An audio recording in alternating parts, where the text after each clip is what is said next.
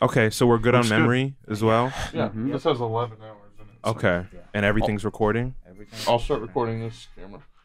Every time you ask a question, I like my mind resets. I'm like, I don't know. I don't fucking know. Dude, I feel that. know how million that percent. feels. Someone I saw a TikTok that was like, "Oh, if if you had to name five songs by this person, you die." And then I was like, "What if I couldn't name five of Yeat's songs?" And then mm-hmm. right then and there, I tried doing it, and I was like. Duh! "Put my own self on the spot." Pressure. I don't know if I've ever heard five crazy. songs. I have no idea. Yeah, I don't. Yeah. Naming five songs quickly. It's like, is there a time limit? Is like a quick time event? You I don't remember your names right now. Yeah. What's your, I don't your know. That's your name? You gotta check the birth certificate, man. you gotta check the files. I don't know. I do not know. Yeah. Do not know. How's How it you going? I'm good. Am I moving closer to the mic? Where are we? Where are we? You can you can you Yeah. can you can adjust you? the mic too if you want to. I think it's it's like it's better. Like.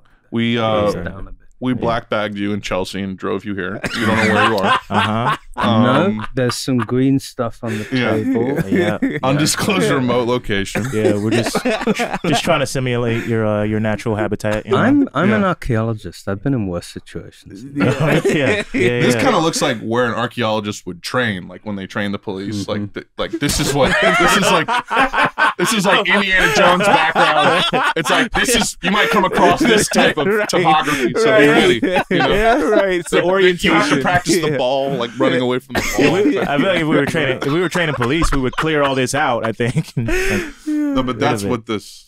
I get, yeah, I'm No, I just compounding appreciate. the. I feel at home. Yeah, yeah, yeah. It's homey. It's. I mean, it, it's kind of um, coerc like kind of have to be homey. We're kind Yeah. of Right. Yeah, it's kind of like Close in involuntary together. hominess. yeah. Yeah. How would you say this holds up compared to uh, Jackie Chan Adventures? You say? Oh, What? do we- Are the we not all well versed the on our archaeology oh, shows? Oh, you got some moss right here. Oh yeah, that's I that's on got to purpose. Moss That's check. on purpose. Okay. That's on Yeah. purpose. Oh. No, the last Jackie Chan It's for the film I compilation. saw was was that dreadful remake of the Karate Kid.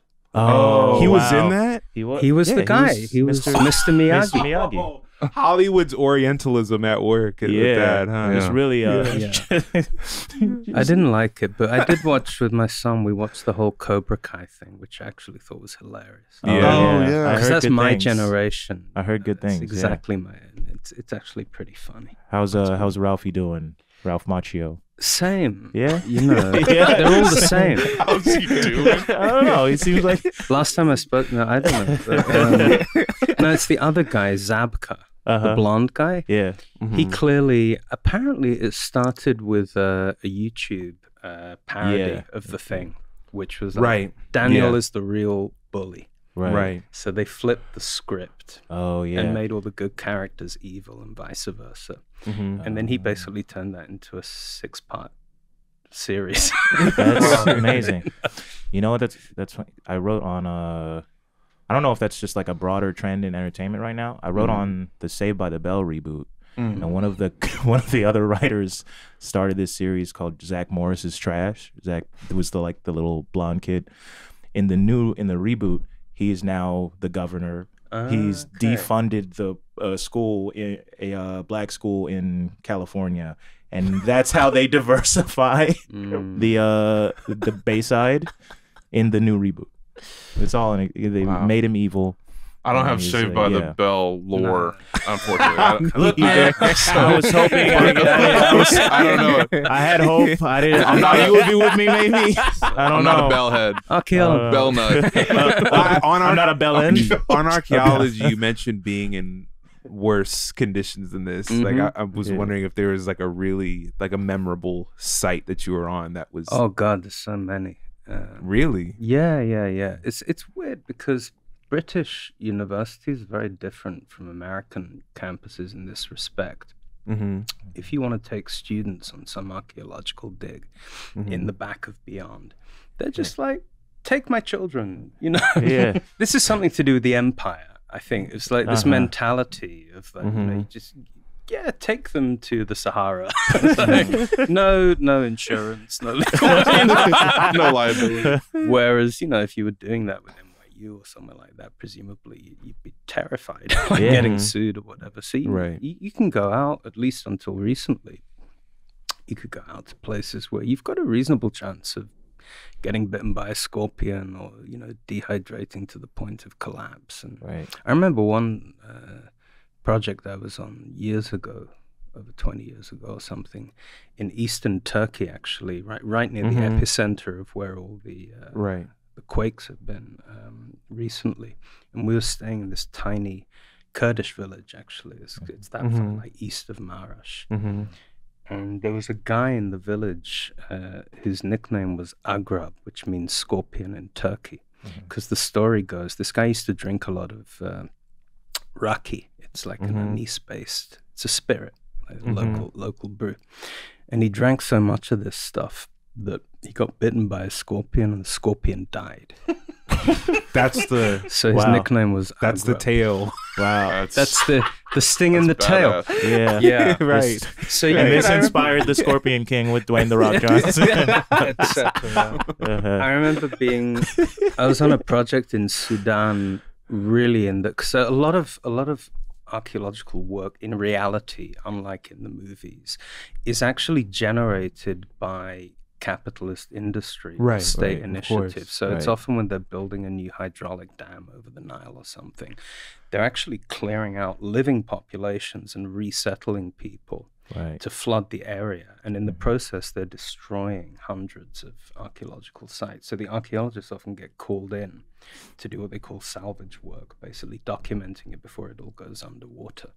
so we ah. were doing one of these on the fourth cataract. It's bleaker than what you. Yeah. It's pretty. It's not. It's not romantic. Yeah. it's- Yeah. Particularly this not. place wasn't romantic. Right. The Right. fourth cataract of the Nile is very remote, and you just walk a little bit away from the Nile Valley, and you are in deep Sahara Mhm. uh, and that's uh, that's no joke. And also, it's uh, very malarial. So Mhm. we're taking Lariam, which can drive you a bit nuts. You get paranoid, and you're in a small group. And Yeah. This does not sound sexy at all. Larry David. No. this is not. No, No. no, And there are no talisman Yeah. of any kind involved. right. This is, uh, Does it, is it, it must be it must be infuriating uh, the the lens through which uh, media depicts uh, Right. art. That- does that infuriate you? Because it's like No. I mean, I've You know, we're the same as everyone else. I think a lot of Right. people my generation they saw that stuff and they liked it, and that's probably part of the reason why they might have It inspired. got an idea Yeah. that you know. I don't. Yeah. like I wish it was more I don't like get Indiana upset Jones. at all by that. I, I, I do get a little bit upset when you get the kind of um, conspiracy theory stuff which portrays people like me Yeah. Like Mm. we're hiding the truth. Right. like, I like you you planted the dinosaur bones type Like- thing. Right. Right. Like Satan. Like, like- Satan. Yes. Sweating my ass off in the Sahara, Right. so that I can hide the truth. Right. Oh fuck, we gotta hide this cat human thing. They're not gonna like that. You can't, uh, It's just slightly annoying. right. Yeah. Do you know what I mean? Dude, we found all these dragon bones. I don't know what to do with these. I found an old, I found an imprint of an old snail. No one can see this. Right. Yeah. No one can see this sea urchin. It's like, oh yeah, Loch, Loch Ness. That was. We found that. We found that a long time ago. I remember once I was supervising a dig, and there were three young guys from Texas who Mhm. were there for their Already a bad combination. I feel like Texas is Yeah. gonna be relevant. yeah.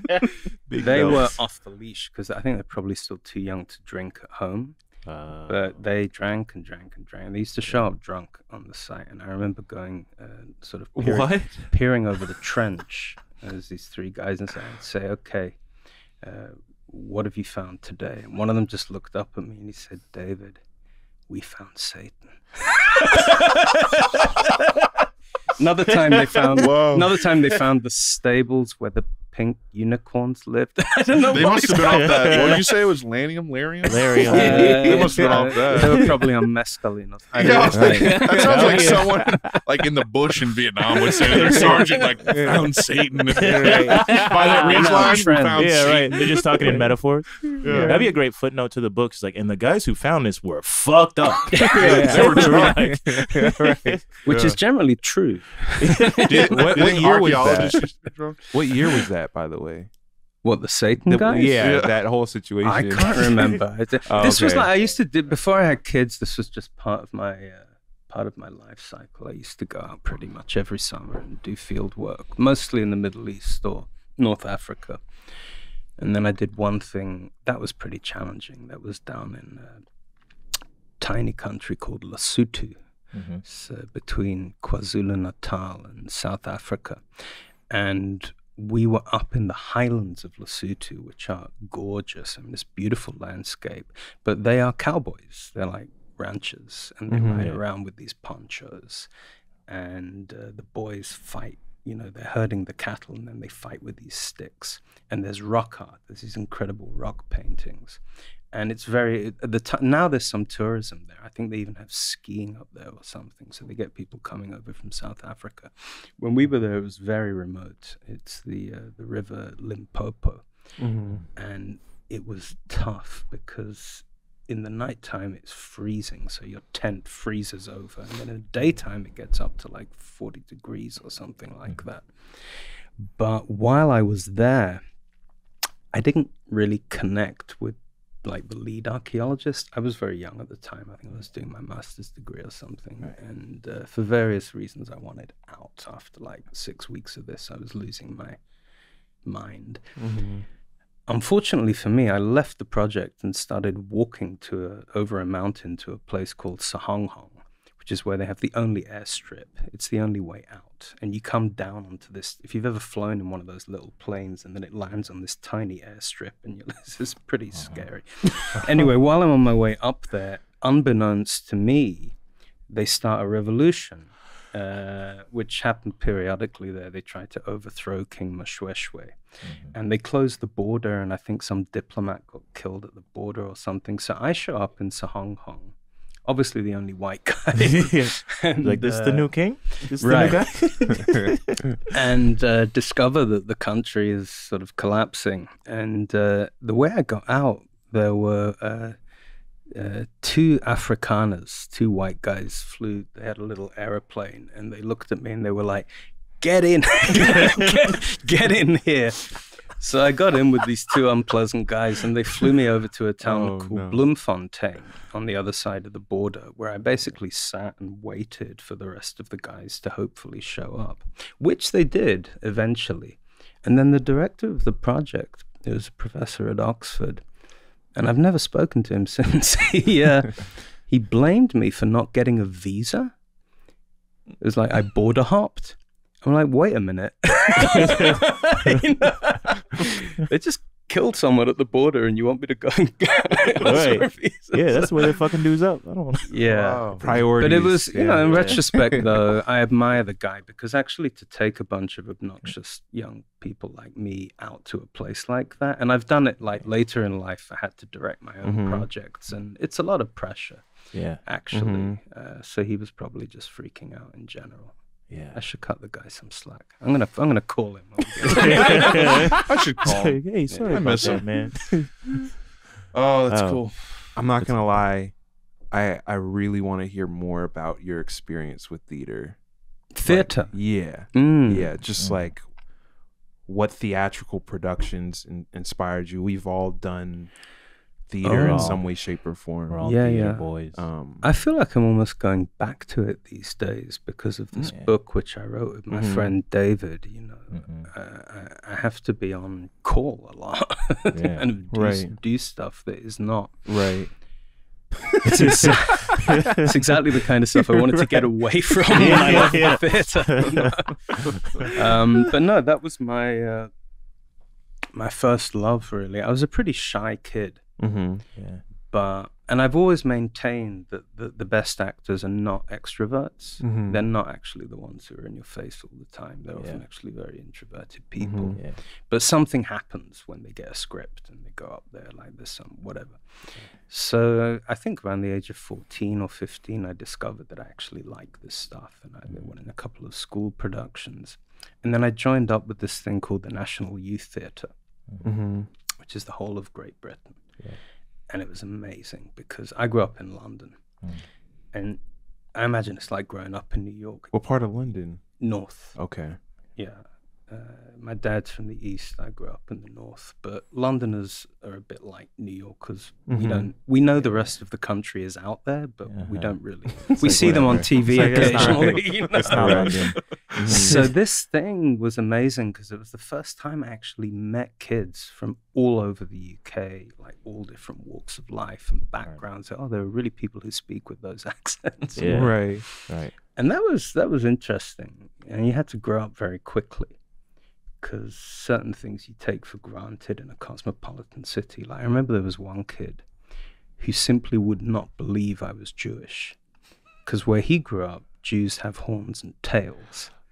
Huh? I'm not kidding. And there was nothing I could He was do. saying that genuinely or as an insult? no, no, no, no, no, no. I thought he was joking at first. Uh, and it also wasn't like, it didn't feel even anti Semitic. He just genuinely had grown up Oh, this is like a. This is in the UK. We're talking. yeah. We have countryside. we have country folks too. Yeah. yeah. and uh, I've just alienated half the people. uh, they, don't, they don't watch this. No. Um, They're some too of busy. them, They're some too- of them do. You'd be Some of busy do. living in a Yeah. place that looks like this. That's half Right. my Shock- readers. right, yeah. but no, he just, you know, he inspected me and everything. There's no way.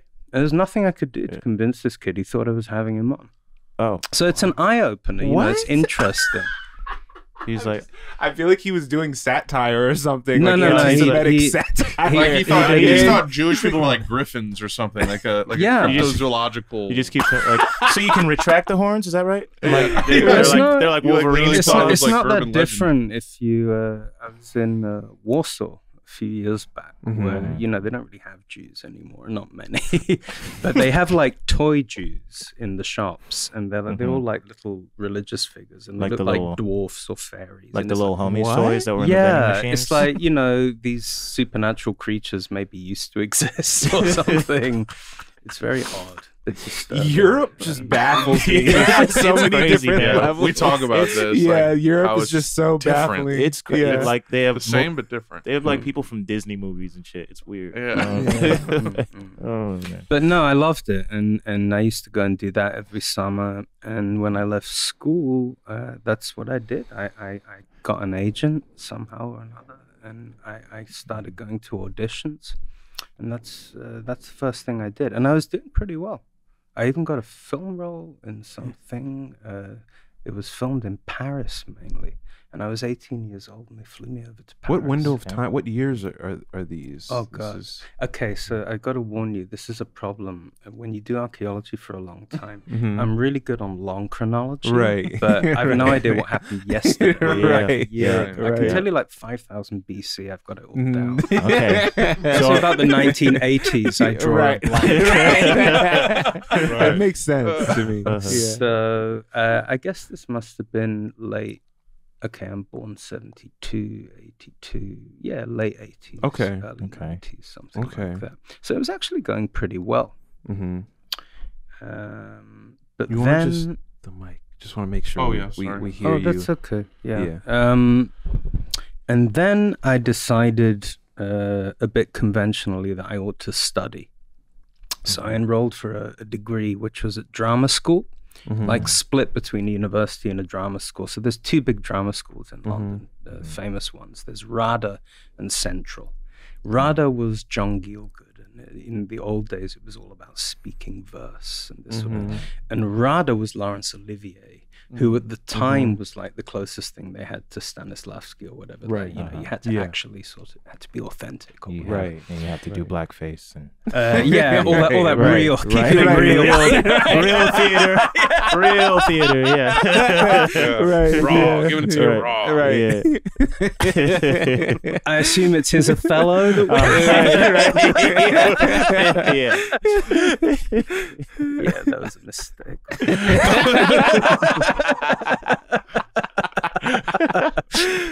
Hmm. But I'll continue. So you, Olivier was Yeah, your biggest I was- inspiration. so anyways, You're inspired by him. This is your guy. he was, it was just the logical extension of his whole philosophy Right. of acting. of course, of course. I need to know how this feels. Right, Right, right. right. Of course. Um, yeah, that didn't age well. Um, right. no, uh, yeah, and that didn't go so well because mm. they wanted to kind of break you down and mm. make you into an actor, and I didn't. Mm-hmm. I, it wasn't me. I was just very kind of a bit boring about it. I was just like, just give me a script, Yeah. and then I'll go mm. and act. You know, I don't want to do the the like introspection and the, and it all kind of came to a head. Oh, and we had a dance teacher Which school, by the way? You mentioned Central. two. So this was called Central. Central. right? Central. Okay. in a part of London called Swiss Cottage. Mm-hmm. And we had a movement teacher who was this very camp German guy called, uh, I forget, Thomas. We wanted to go skipping around the road. I just used to sit out and sort of go, can we act now or something? Right. right. And it all came to a head at the end of the term. They had the big production where they would call agents Othello, and right. things. Othello. Uh-huh. and I had the lead, obviously. Right, I actually did have the lead in this play. It was some new play, not a fella. Tropic Thunder, the theater production. British Tropic Thunder. I'm a dude playing a dude disguised as another. Okay, you've, you've seen the movie. You've seen the movie. Yeah. this is the first time in this conversation. I have literally no clue what you're talking about, but that's Oh Tropic well, Thunder? this is uh, Robert Downey Jr. Uh, doing blackface, but this Do you is- recall? seriously. yeah, Yeah. Maybe I should pull something up. this is uh, it's pretty universally accepted as like the only acceptable Really? instance of blackface in film. What? Every time so, every couple years somebody brings it up and tries to cancel him for it, Uh-huh. and he has Jamie Foxx sitting next to him and is like, "No, it was cool.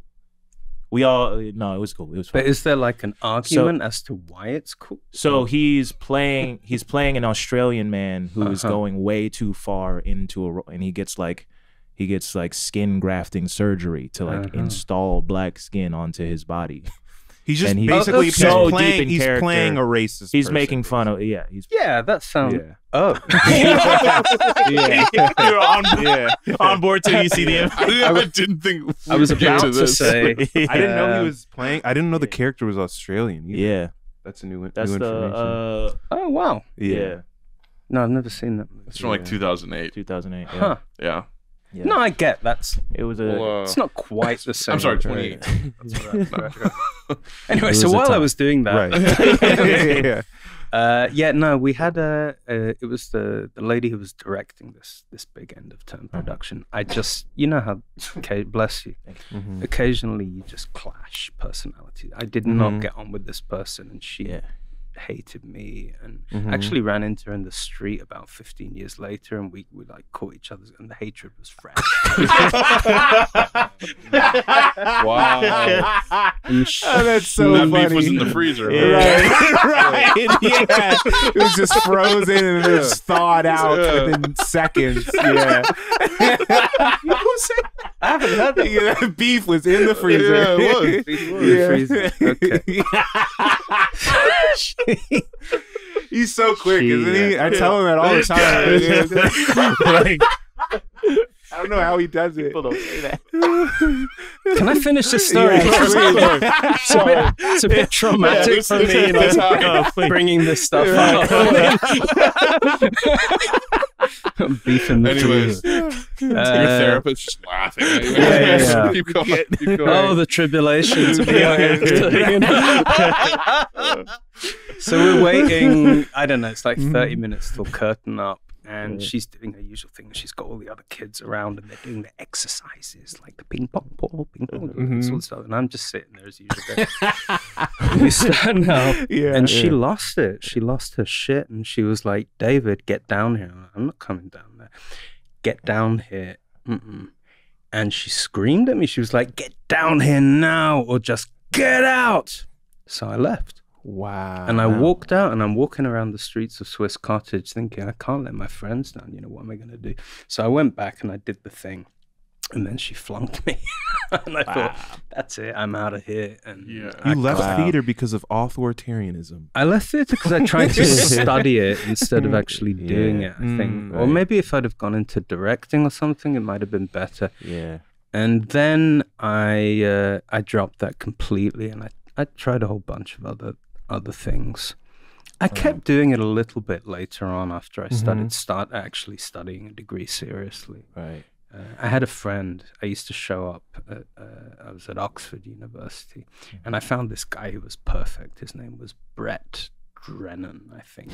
And he, this was pr- still pre-digital, so we didn't have emails or phones or anything. So I would just show up, and there'd just be a little note in my pigeonhole at the start of term saying, uh, "I'm creating a production." Of Othello, you know, would you like to play? Blah blah blah, and I could just show up and do the script. But then I realized that was all going wrong too. Yeah.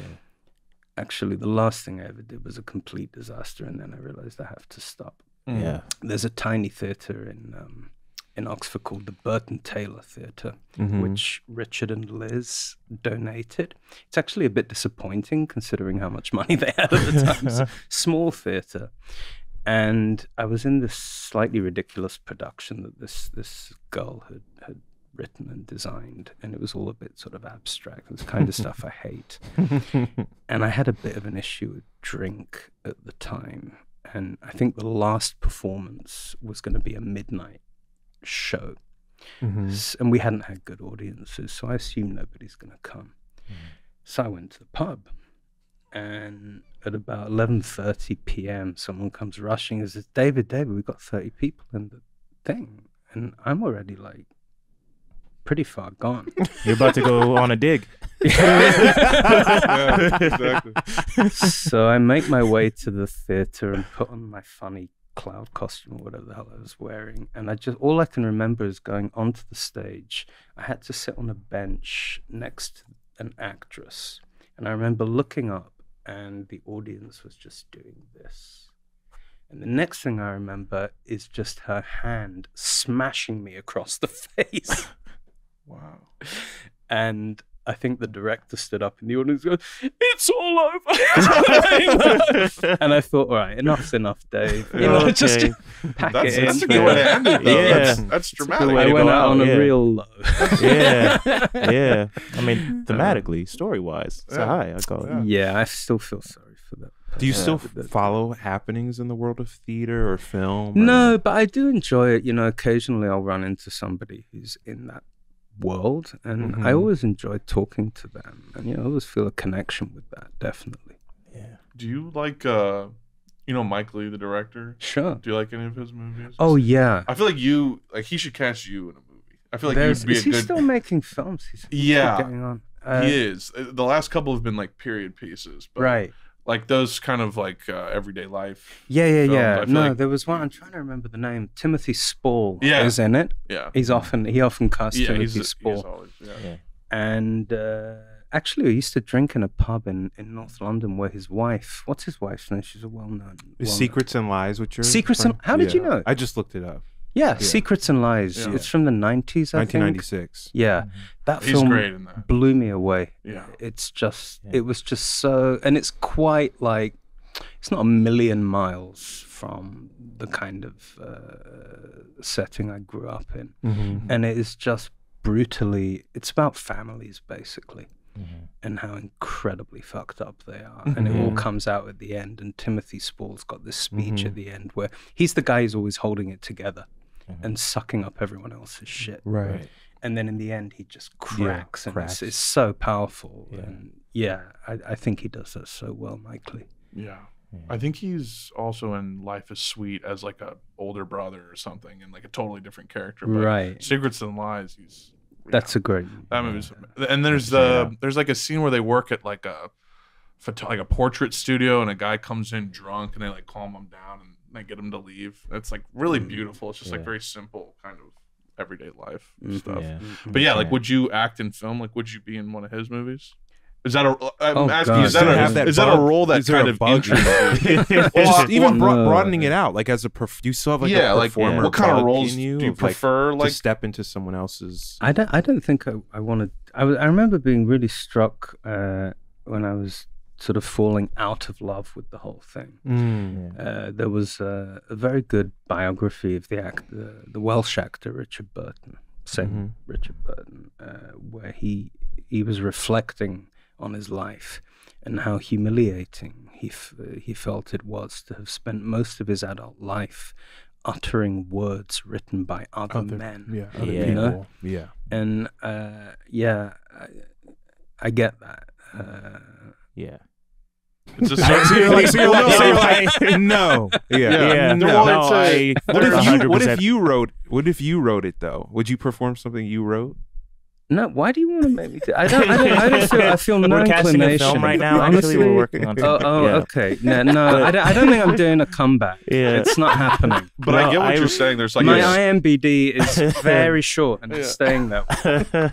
I do relate to that feeling though. I've like I've been in a couple things Same, myself, and also. like Hmm. I mean, particularly like theater, not so much doesn't bother Mhm. me so much, but like being recorded on film that's gonna be out forever, knowing Mm. you How had do no control of your image in this instance. No. it's Yeah. like Right. just Yeah. something itchy about it over a long Yeah, period yeah, of time. yeah, absolutely. How do you cope with auditions? Because I was, I was so I've- not cut out for this. You No, know? this was no. the wrong profession for me, and it's good that I got out of it because I used to find auditions humiliating. I Yeah, it's have- degrading. I've I used to walk them. out of things. I Yeah. probably alienated half the casting agents in Soho Yeah. before I even turned twenty because I just Mhm. wouldn't do things. Yeah, You're so authoritarian. yeah. Right. You do this, you do that. Right. I've stopped replying to those emails. I don't. I Right. don't do them Mhm. anymore. Um, I remember showing up to an audition. Actually, this is kind of cool because the director was John G. Avildsen, as in Rocky, that Uh-huh. guy. you know? Uh-huh. So I got to meet John G. Avildsen. I have no idea why I was at this audition. It was for some musical or something, and I told my agent that, and I, I had a day job. I was working in the post room of some big company, so we just had with the post boys had to run around and Yeah. put letters in boxes and things. So I was pretty exhausted by the end of the day. I showed up to this audition. I told the agent that I will read and I will sing, but I don't dance. Said, okay, okay, you go along, you go along. And I mm-hmm. sat in this audition room, actually with two guys who became quite well known afterwards. One had a, a, a career which went like, woo! a guy called Chesney Hawkes, and he had this one song that was very famous. Uh, he was, I think, he was the son of Chip Hawkes, who was in a very famous '60s band called the Tremeloes. And Okay. Chip was there with his the boy. That was a British thing. But heard of them, um, and there was another guy called Charlie Creed Miles. The there was a movie recently. We watched it recently on Netflix. Uh, can- Creed Miles. yeah, he always used to show up at my auditions. They must have thought we were sort of vaguely similar looking or something. Yeah. And it's the the the poster is like him with his fists like Wild Bill. It's a film called Wild Bill. Uh, And so I used to have to sort of go up against this guy in auditions occasionally, and he would try. He was in the Fifth Element. Of- There you Oh, go. He looks. He looks so familiar. I'll see Oh, if I can wow. pull up. The, He's a good actor. Uh, he's probably watching this. but he would. You know what actors are like. When you want that Yeah. role, you will stop at nothing. oh yeah. So you know, there's little intimidation tactics Yeah. that go on. So there was a bit of that. Mhm. Anyway, they go in for the casting and they come out one by one, and their faces are like red, and it's like I don't know what they're doing to them in there, but I really, you know. And uh, he went in, and and I said, "I'm not." d- Yeah, Oh, that's him. wow. Hello, long time. Is there, a, was Um, is there a Devo scene? what in has happened there? I don't know. He- he's This is a, this is a Devo cover band. Is he's the guy in the movie who like I think he's even in the ending where they're like pouring the stuff on the stone and they're all Oh. like relieved because the Oh, world yeah, didn't end. wow. yeah. Okay, he was Yeah. also. In Oh, Pe- wow. did, did you guys get Peaky Blinders? Yeah, Yeah. yeah. So he was the guy, uh, Bill Ki- Kimball or whatever, Billy Kimball. Okay. Yeah, yeah, yeah. Anyway, it's a good actor, but Yeah. um, So they'd all go in, and I'd already like made a point. I'm, I'm not, I'm not dancing. I said, "Oh, whatever you're doing, I'm Right. not doing it. You know. Mm-hmm. So when I went in, they all like pressed their faces up against the door to see if I'd crack. And uh, did the audition with uh, you know a bit of singing, bit of reading, and so on. And then the woman says, "Okay, and where's your tape?" We were still on cassette tapes. where's your tape to do your your your dance? I said, "No, I, I told my agent I'm not not dancing." Mhm. Okay. Okay, and w- w- you don't have a tape? All right, we'll play some Kylie Minogue, and and you, I'm like, and they're looking and ch- that guy, Right. you know, I'm no, no, that's that's not happening. Yeah. And um, and then she said to me, I remember. It's funny the things that stick in your head. She said, "You've wasted my time." She said to me, and I lost it because I'd been at work all day. And I was like, Right. "Well, no, you Wow. fucking wasted Right. my time. And it's like, Right. and of course, she's like one of the most powerful casting agents. And so I storm out of there. and- Yeah. But I kept my dignity. Yeah. That's Hell yeah. yeah. It wasn't for Yeah. me. It wasn't for Right. me. yeah. It's, it's not for most. I feel like it's not built for do normal for Yeah. humans. I- it's yeah. like so dehumanizing. I did it long enough. Every audition I go to would be like five comedians that I know Mhm. personally. like be me, Seaton Smith, Derek Gaines, people you don't y'all don't know them by name, but it would be those two people, uh, a bunch of tall black men that look with Mhm. afros for a role that says Donald Glover type, and then Oh man. and then you look over and then you look over and you see Donald Glover there, and you're like, well, he's gonna get it. oh my god. Uh, no. You know? No. Like, That's I- fucking hilarious. I legit No. had I had one audition where this was the most dehumanizing That's thing so I've ever had. degrading. Where Mhm. I was uh I was testing for a pilot um for I want to say this was ABC. Mhm. Um got very far along in the process. They flew me out to LA and I was at a point I couldn't afford to pay the deposit at the hotel. Mhm. I uh I'm like calling my dad like, hey, could I get like hundred some like this amount of money for the deposit? And uh I'm just sitting in a hotel room by myself. There's no like per there is a per diem, but they're like, yeah, we'll we'll give it to you like like they're trying to do a net thirty on a per diem or some Right. shit. And um and I remember like this the whole process the director had to- told me that he wanted to book me but it was also his first pilot so he Mhm, had no mhm. control in the audition process they had sent me a tape of a friend of mine because his audition was what they wanted and they were like well, Mm. just do it like the way he did it and it's like well he's gonna get the role like just book him. You like him just book Right. him and they put took me through this whole rigmarole had me in the hotel for two days. Mhm. they extended my stay for an extra day. So i'm sitting here like okay so the test went well. Mhm, uh, mhm. surely i've got this role. And then i get a call the next day like yeah they went with your fucking friend. That's how they said it. They were like, Your fucking they went with your fucking friend. You know how you know what it is. Yeah. Yeah, it's a bit brutal.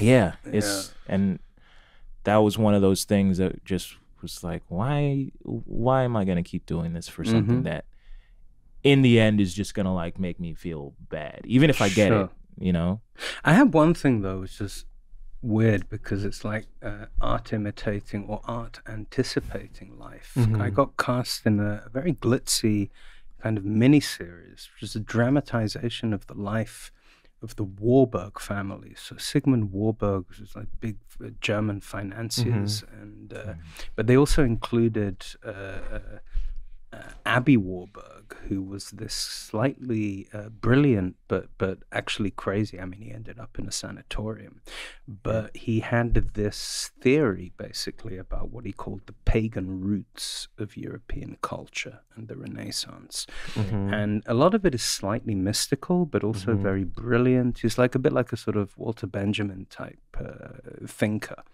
uh, slightly esoteric but brilliant. Anyway, so I'm in a dramatization of this thing.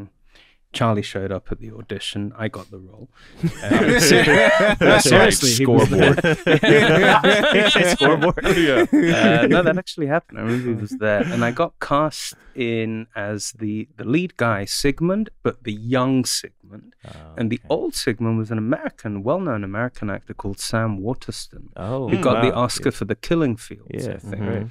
And there were some incredible actors in this thing, uh, but international. Like continental. There was a guy called Otto Tausig, who must be long dead, who was Austrian. My mother's side are Austrian, and he uh, he was actually in Bertolt Brecht's original Berlin ensemble. This guy, and he was playing uh, Aby Warburg.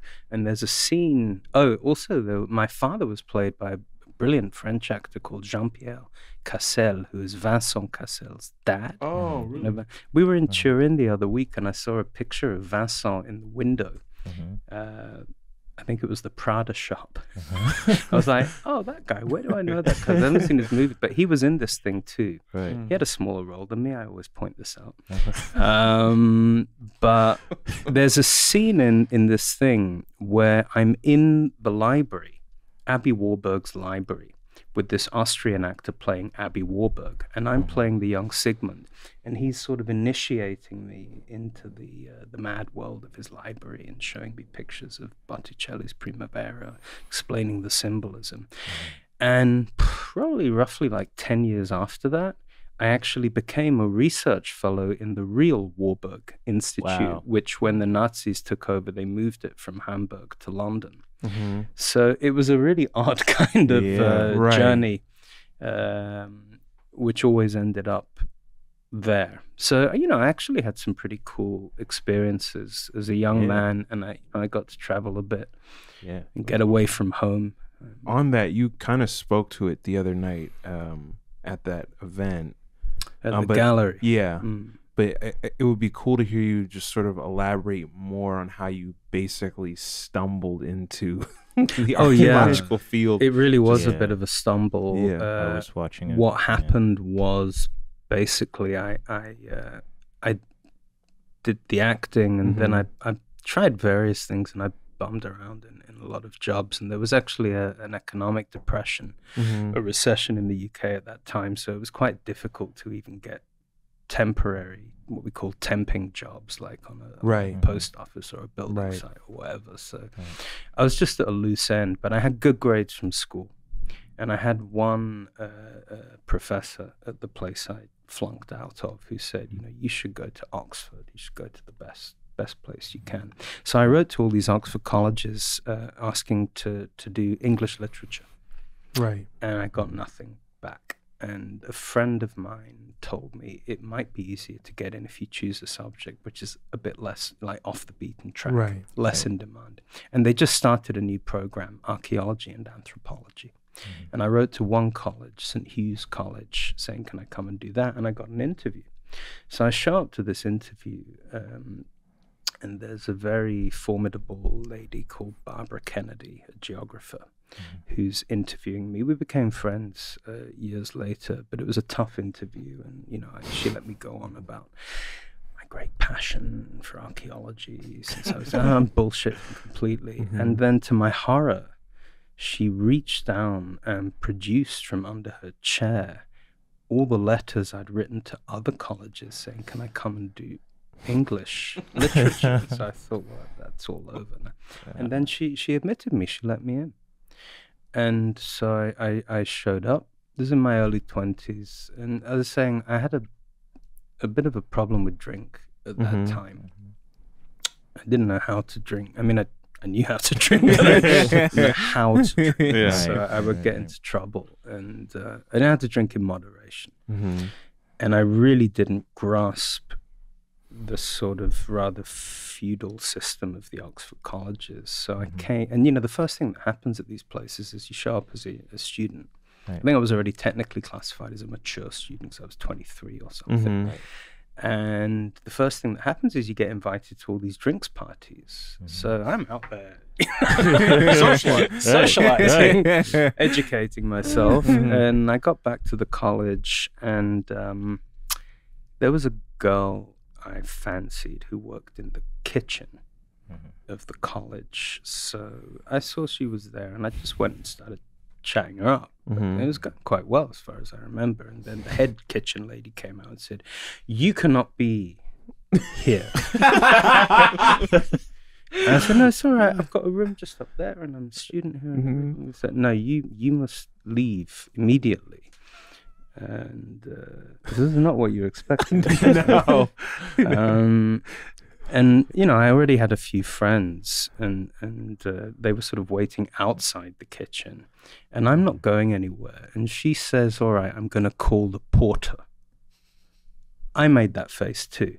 I don't know what the portal is or anything. yeah. Yeah, I don't know what that is. Anyway, this guy shows up, uh, Martin, who again I, be- I became friends with all these people later on. And a lot of the porters are ex-military, and they're, they're the guys who stand at the gate basically, Okay. and sort of see people in and out. Gonna say a Mhm. porter is also a beer. That sounds like a bad idea. No, uh, so there's Martin, and he's looking at me, and I'm looking at him, and I'm clearly not going anywhere. And the ladies of the kitchen are standing around, so he starts getting a bit embarrassed, and he doesn't know what to do. Mm-hmm. And he, he grabbed me like this, and I, and I hit him. And then we ended up on the floor in one of those pathetic kind of man fights where you just sort of and I remember sort of glancing over, and there's there's my friends outside the kitchen looking and going, "What the?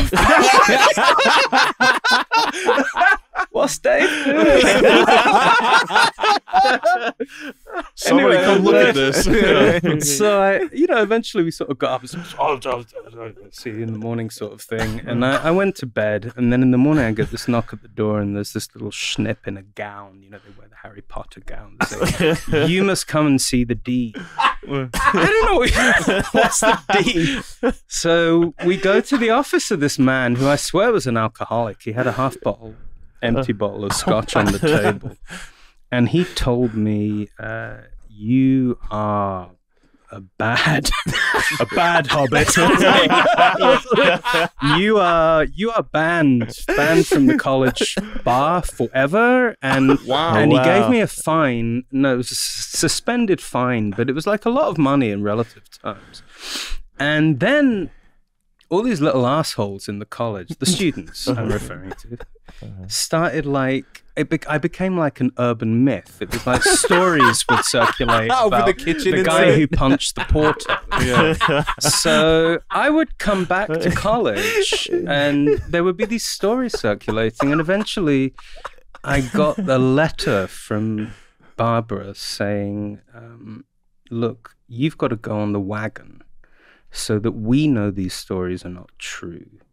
Just like stop." Shitting on your own. She didn't use that expression. but Basically, stop shitting on your own doorstep, Mhm, or we're going to throw you out. Getting pissed, as they say. Getting Yeah. Isn't pissed. that, is that is that highly profane to say it like that? No, it's fine. No. Okay. I don't know if it's like blood, bloody. I don't. You know. I don't know. What? Some of these things meet have weight to them. Getting don't- pissed. Yeah, getting. and I did at this, actually. I remember I got into trouble. They have a lot of problems there with what they call town and gown, which Mm. is familiar from the Ivy Leagues in the US. You know, it's like that other movie with uh, what is it? Is it Matt Damon? I can't remember. It's not a bad Oh. film. I watched it on an Good airplane Hunting? recently. I was gonna say Hunting. Good Will Mm. Hunting. Yeah. That kind of town Yeah. and gown thing. right. And I got in a fight in a pub in Oxford with a local guy who was a car mechanic. I don't know what the hell I was doing. Actually, it's the pub. It's called the Eagle and Child, and it's where Tolkien and C.S. Lewis, you know, they had that group called the Inklings, and they used to tell each other stories, and that's how they made up Narnia and Middle Earth. That was their pub. It's a famous place. Wow. Wow. And of all places, I ended up in a, a, a tussle there, and I, I broke my finger on this guy's chin, and I remember they had to cut my granddad's ring off, and I had a bad black eye, and sort of come back to college.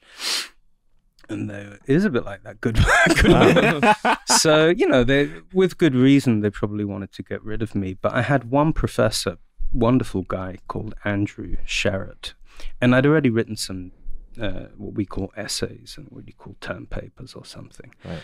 And he wrote to the college, and uh, I saw the letter years later when I was like, already like a PhD student, and he said, "Your ugly duckling is a swan," because he actually put the work first, and I actually always really appreciated that That's about Oxford that they they gave me a chance to figure out the rules because they thought I could do this stuff. Right. And uh, and yeah, he was the guy who who really got me hooked on it, and, and Yeah. so it was really very very accidental. Yeah. You just Right. happened to have the right teacher Right. who makes you feel because archaeology in Britain it's not really the kind of thing that a Jewish kid from North London is likely to do. It's Mhm. very, Right. or at least back then, it was very English. So, you know, I would associate it with not the kind of people I would typically hang out with, Right. like, uh, um, you know what I mean. Are there class? yeah, there's yeah. a class It's- dynamic to It's what just very saying? English. Right. Like it's ali- it's slightly Cultural alienating class, that you feel like you, you know because you don't really have any. I don't really Yeah. have any roots of that kind in Britain. You Right. know, my Mhm. dad's parents came over as refugees, and my mum grew up uh, in Europe, and uh, yeah, it's kind of intimidating. Right. Right. So I didn't have that sort of natural sense that this is something I could contribute to, but he gave me that actually. It's amazing. It's like you were a young Jimmy Fallon. What? Never quite thought He's- of it that way. he's that- he- yeah. He's that way now. Okay. He's, he's a no, he's a big alcoholic. Were you? He's a known alcoholic. Is the Uh, yeah. Oh, oh, Jimmy Fallon. Oh, Yeah. yeah, Ah, right. yes. yeah. Um, what? You obviously you're. I'm sure you're Allegedly. a big a big reader. Is there Mm. you know is there anything you read nowadays that you know do you have the time for it or I mean I, I guess you do with the travel. It's frustrating, actually, um, not really having time to read the way that Mhm. I want to read, like to actually think while I read. Uh, it happens alarmingly rarely these days Right. that I actually have time to read and reflect. Um, but I'm going to get some time off teaching and things next year. But I do a lot of teaching, and and uh, I, I find myself reading like snatching bits of time in between things. But I'm going to get some time off next year to to to. Not unlike Yeah, how you made this book. I mean, I have a I have a question Yeah. on that though on reading in this book Mm. because I f- I know a lot of people who they look at that book and they're like I'm not reading all that man right like they they see the because maybe just like you they're super Yeah. busy in life or they're they're stressed out they don't they don't feel like they have the mental bandwidth to sit and yeah. go through all of and they that don't want to crash their car with the audiobook.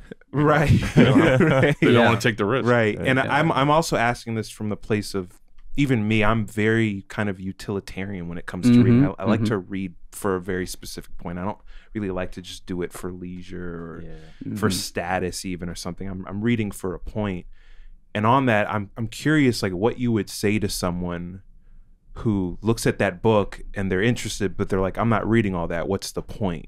and and why like why should i like what's the significance You of know, and you know, I've talked a lot about the dawn of everything, as you can imagine, Yeah. over the last year and a half or something, and that has never come up. yeah It's almost like the other way around. The like the letters I was reading, Right. uh, They read it too many the times. gallery. Yeah, people read it and then they Mhm. reread it, and these are not necessarily people with college educations. The Mhm. thing is, none of this is is or should be particularly surprising. And you know, my my friend and co-author David was was insistent on this. Is Mhm. is that actually. Uh, your regular reader is often a closer reader, and you know, Yeah. they'll go into Mhm. the footnotes. Right. Mhm. Academics can be very sloppy readers because Right. they're so into their thing that you you read with blinkers on. You know, you're looking for that thing that confirms or disputes what you're you're not open quite a lot of the time and i'm not you know david was um i think his his parents were um they were definitely well read people Mhm. but they're from working class backgrounds. We didn't have books at home except football biographies and a few things like that Mhm. but you know i went to a good school uh, at some point and so did he but we're not from i'm not uh always got a laugh you know on social media sometimes people i am the first in my family to get a phd or Oh. something i think i'm the first in my family to finish high school actually Wow. so neither of us uh, come from that, you know, generations of highly educated people Mhm. or whatever. Right. And I think you do have a, on the one hand, you have a slight insecurity because of that. You never quite feel like you fit in Mhm. to the academic world. And on the other hand, though, you know that people are not stupid. Right. Yeah. You like- Right. You know, you know Right, your right. grandparents or whatever. You know, they're smart people. Uh, and I'm really proud, actually, that our book came in at number two on the New York Times Yeah. bestseller, just under Will Smith. and it's a 700 page tome with a 70 page bibliography. Right. And I love that because it just gives the lie to this bullshit that if you want to write a popular nonfiction, you've got to Yeah. dumb down and like, Right. make it like a kid's story or Yeah. something. Mhm. It's not true. Yeah. Well, you know, I mean, in my case, it was like this is a little bit my mind playing tricks, but like seeing the title and being like the dawn of everything. I'm like, thank God it's all in one place finally. You know, even though I know part of it's like hey, it's fucking 500 final. pages, but We've had everything for a long time. Thank God somebody. we had a lot of trouble uh, finding a title. Actually, when David passed away, we still didn't have a title. Oh wow. We'd gone through at least 50 really bad titles. um, Can you name your least favorite ones well, or your favorite other ones? The know. one I remember that, that we would have loved, but the publishers would never. You know the Bruno Latour book, uh, We've Never Been Modern? No. It's a philosophy book. So we wanted to call ours We've Never Been Stupid. Subtitle Until Now. We had all kinds of Yeah. ridiculous titles. Sounds like a Bill Maher book. Yeah, right. it's yeah, exactly. than- we had like yeah, like, humans are I think we had uh, we had fu- fucked the last fifty thousand years. Which Oh, that's obviously a riff on Yeah. debt. oh wow. We Yeah. had terrible titles, none of which uh, were fun, any though. good. Yeah. David's favorite was The Dawn of Everything, but he was convinced the publishers would never let us use it because it's so ridiculous. Right. So he created a hashtag on Twitter. He said, "We'll just start using it; it'll become like a fait accompli." Mhm. And when he passed away, uh, I got copied into an email thread between the publishers and the agents or whatever. And the obituaries were coming out in the newspaper, and they wanted people to know about the new book because that's what publishers think about, I guess. And they were panicking, like, oh, we don't have a title. We don't have a title. So I just jumped in and I said, well, David wanted to call it The Dawn of Everything. And he's Oh. just died, so what could they say? So that's how I got it under the line. Now they like it. yeah. Wow. Right. and he was right. I think it, it, it works. You know, it captures something about um, the point Right. of the book. You know. Right. I wanted to say on the on the question about, you know, someone who's like, I'm not gonna read all of that. Mm.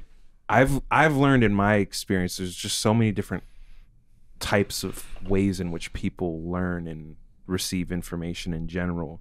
Mm. I personally deal with a lot of people that really don't like to read or they struggle to Mhm. fo- to focus Mhm. when they're reading, and I find the ways in which I can more organically get people hmm passionate or engaged is by you know putting something it might be provocative to them even what i'm saying hmm but it makes them go okay but why? And they they keep going but why? Hmm okay so can you give me more context for that Mm. and then at a certain point you go okay read this sentence Uh, you know the, just keep Okay. keep going down the thread it'll keep going down this thread for you if you really care Yeah. this text does that. So like I, I was asking that from the place of like even if you're just interpersonal dialogue Mm-hmm. conversation with someone on the street or in a coffee shop, you know, like what's the what's sort of not a pitch, but like what's the sort of thing where you're like, did you know that XYZ though? No, no, no, that's that's not true. Did, did you know blah, blah, blah, blah, Mm. blah? And they go, really? Oh, uh, Mhm. where can I find out more? You go, oh, yeah. I wrote a Mhm, book on it. mhm, mhm. Is there like a, is there, do you have that or? I feel like Rousseau Rousseau would probably come up in that conversation. Right, Maybe. right. Yeah, yeah, yeah. Uh, there's definitely something, uh, you know, that, that, that basic message that everything you know is wrong. Right, Yeah. right. Uh, that's, yeah, that was Rousseau was a definitely hook. the- Rousseau was was a hook for me personally. for a lot of people. the Eurozine It- Yeah. piece. Yeah, the yeah. Eurozine Yeah. piece. That was weird because we uh, we drafted that piece and we sent it initially to the London Review of Books, and they were Mhm. very into it, and they edited it, and then at the last minute they pulled it with no explanation. Mm. so we sent it to Harper's. Same thing. They edited think it. They were really this. into it. Yeah. Mhm. And then they blamed it on the Trump. Uh, there was the uh, elections coming up or something. I can't remember. It's 2017 or 18. Some there was some big thing. Mhm. Sixteen. 16 Yeah. maybe. Anyway, they just pulled it. Like no explanation. I don't know what was going on. Like maybe Mhm. they sent it to Jared Diamond or one of these guys and they said, "Don't do that." so we were kind of losing our patience a bit. Mhm. And David was already a you know very famous, well published public intellectual. He was like, "What's going on with this stuff?" And we'd already published like a scientific article in a, in a good academic journal, documenting all the points and everything.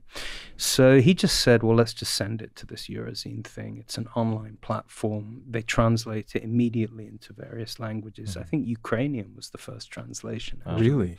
Yeah, let's just get it out there by hell or high water. And the guy who was editing Eurozine, um, I um, his name's gone from my head at the moment, but I, I remember I thanked him in the uh, uh, acknowledgements to the Mhm. book because he he really went with it. He just Mhm. got behind it, uh, and yeah, that piece uh, definitely had a, an impact. That's when David forced me to go on Twitter because I'm not. I don't. It's I nev- horrible. I've Yeah. never had Facebook or horrible. any of that. It's really not in my Yeah. nature at all. But he was like, "Oh, you're gonna miss all the fun." I like, okay. Uh, so I, I opened an account, and I mean, it's true. You know, you do Mhm. occasionally get wonderful uh, feedback and Yeah. things that you just wouldn't have had a clue about, and then come the trolls. Yeah. Yeah. Um, Yeah. but I'm still on.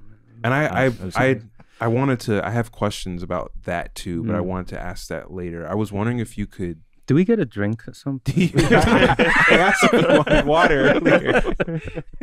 you need water. And the champagne break. but Champagne and caviar. I was wondering if you could summarize for someone who just isn't familiar with some of these things we're referencing, like the Eurozine piece, or Mhm. even what the what the point of that was. yeah, Chief the Kandiaronk, all Eurozine piece. The Eurozine piece was before we'd really uh, got into the stuff about Kandiaronk and the, the Mhm. relationship between indigenous American philosophy and the European Enlightenment. That came a bit later. this. The. Eurozine piece was called "How to Change the Right. Course of Human, history," Yeah. at least the part that's already happened. And Oronk wasn't mentioned in that. I might be blurring. mm, I can't Yeah. remember. Uh, I don't It's- think so. Okay. I, I don't recall. yeah. But it definitely wasn't the focus of that Right. piece. yeah. That piece came out of a kind of frustration when we started decided when we decided to work together. Mm-hmm. It was about the time of the financial crash, so 2008, 2009, Mhm. Uh-huh. and there was a huge like this flood of books by economists and historians Right. about inequality Right. and Mhm. inequality indexes and, and, and this is what everyone was talking about and Mhm. writing about and we started leafing through this kind of stuff like francis fukuyama steven pinker Right. and it's just odd because all that enlightenment stuff was suddenly back explicitly like people saying i am a neo-hobbesian thinker. I am a neo-rousseauian thinker. And Uh-huh. humans really did begin in tiny egalitarian bands of hunter-gatherers and then came agriculture and private property and inequality and populations grew and you had Right. cities and that led to the state.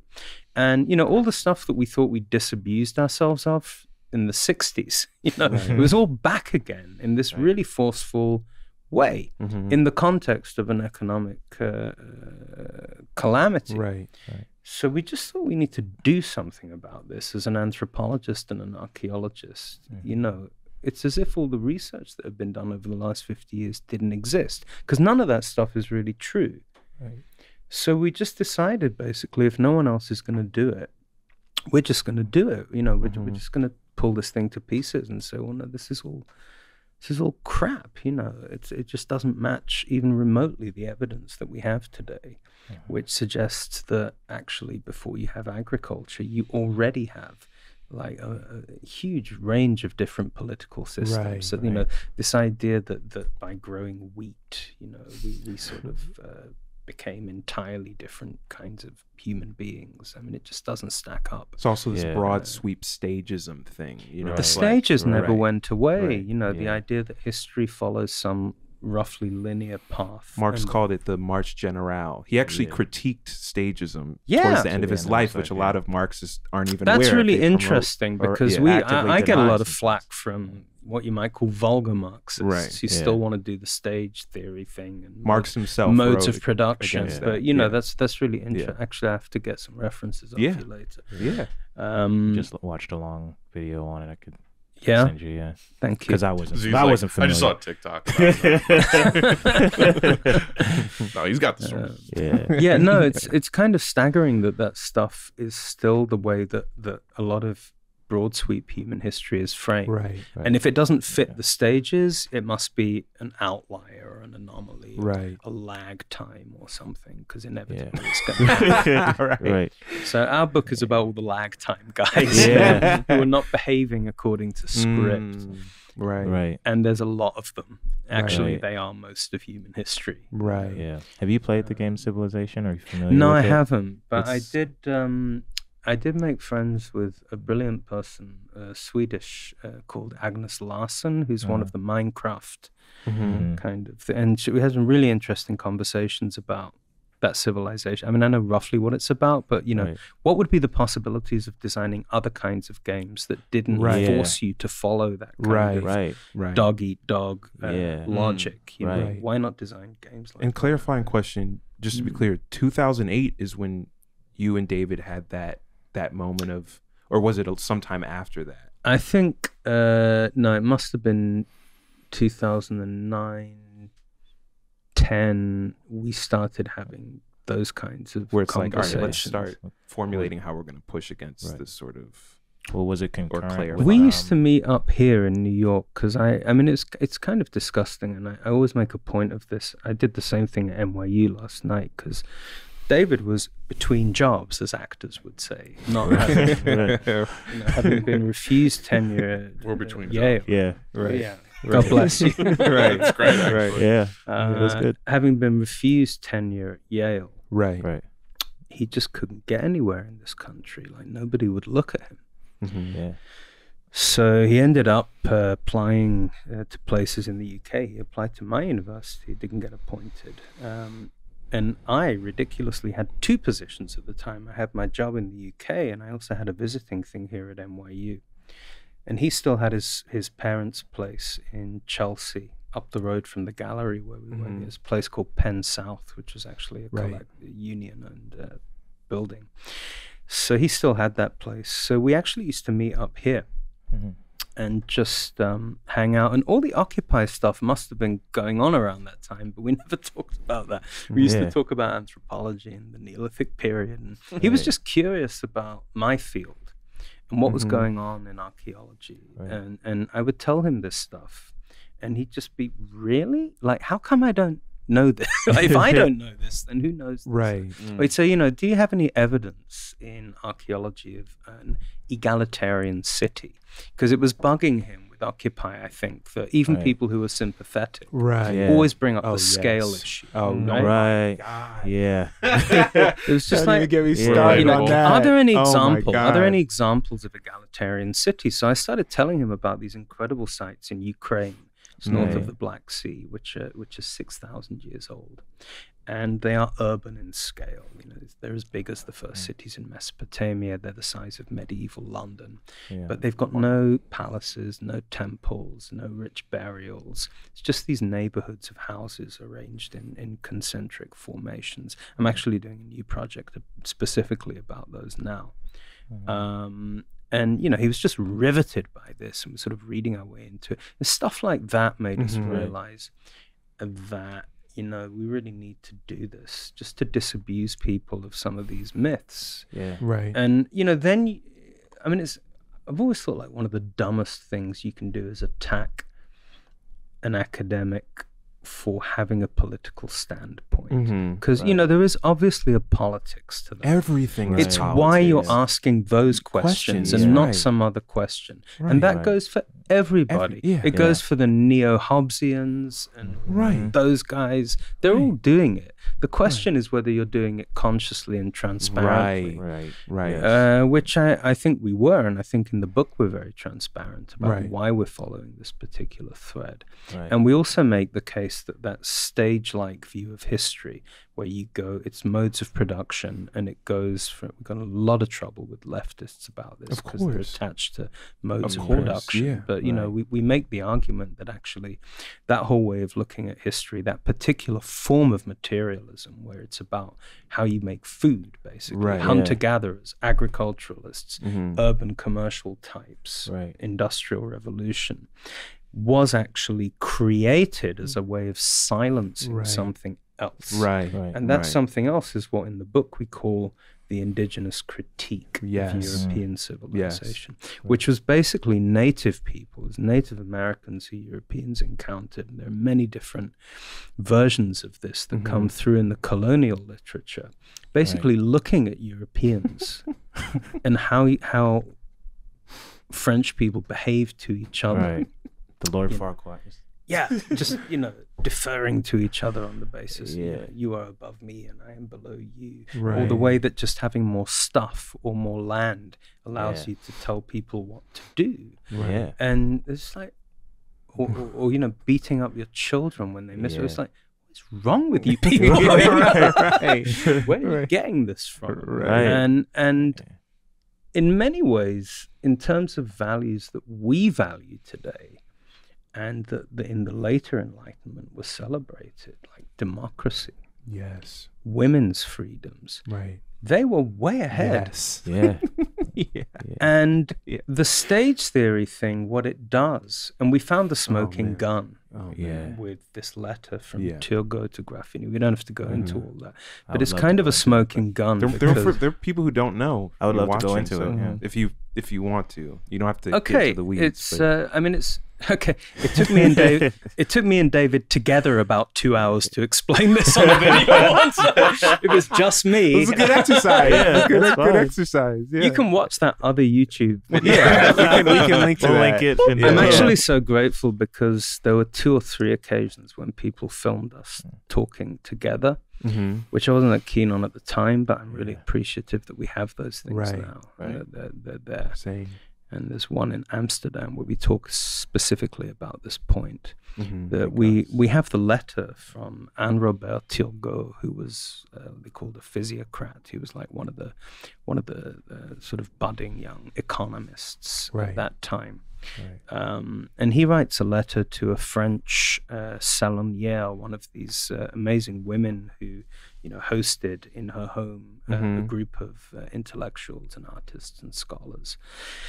And she uh, she was called the Madame Graffigny, and she wrote letters from a Peruvian woman, which is about an imaginary Inca princess called Right. Zilia. And it's another of these critiques, but this time it's it, it comes largely from her imagination. Right. She's Right. making it up. These Right. fake dialogues. and- Yeah, it's like these fake dialogues with a, a s- an exotic Right. whatever.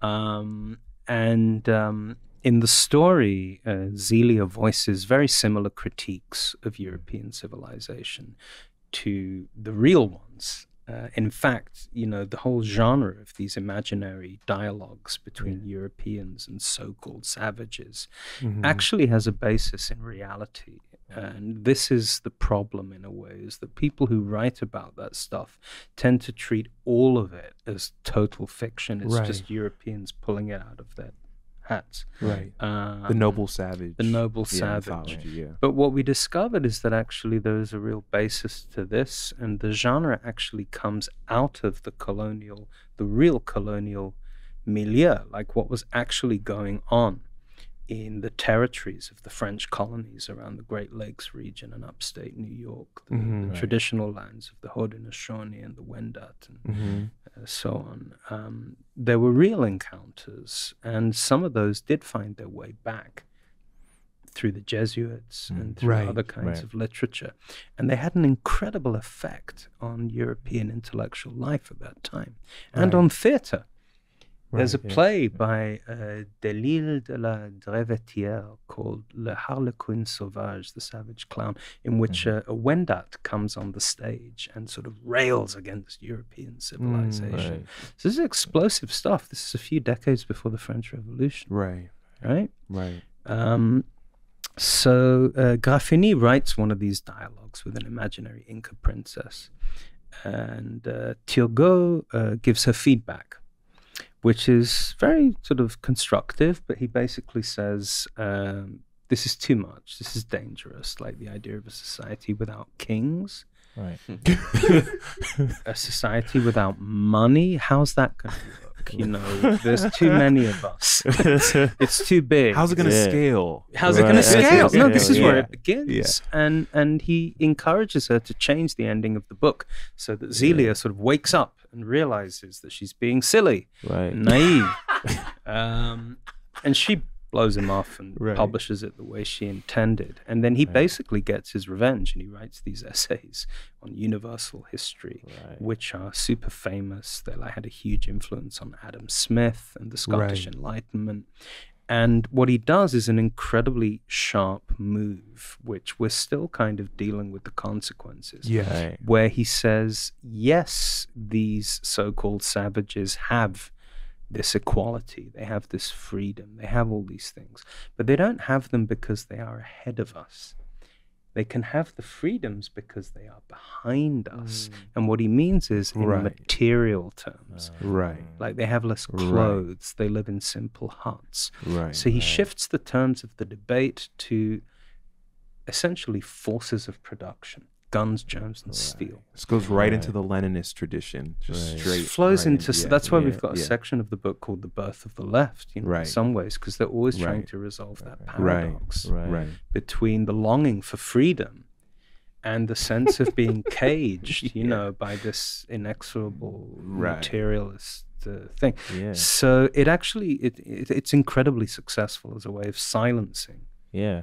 the indigenous critique so yeah you can say whatever you want Yeah. Right. Right. but it's it, it has about as much value as listening to the opinions of a leprechaun because Right. you Right. essentially Right. you come from Narnia. You know, you Right. belong. You're you're like the living Stone Age or something. Right. Right. And we still see this, right? Yes. When you've got the the the guys lobbying outside uh, the climate summit or whatever, saying no, we- we actually have something to tell you about these landscapes. We've been here for generations, Right. but they're outside. they're not in. they're not in the room.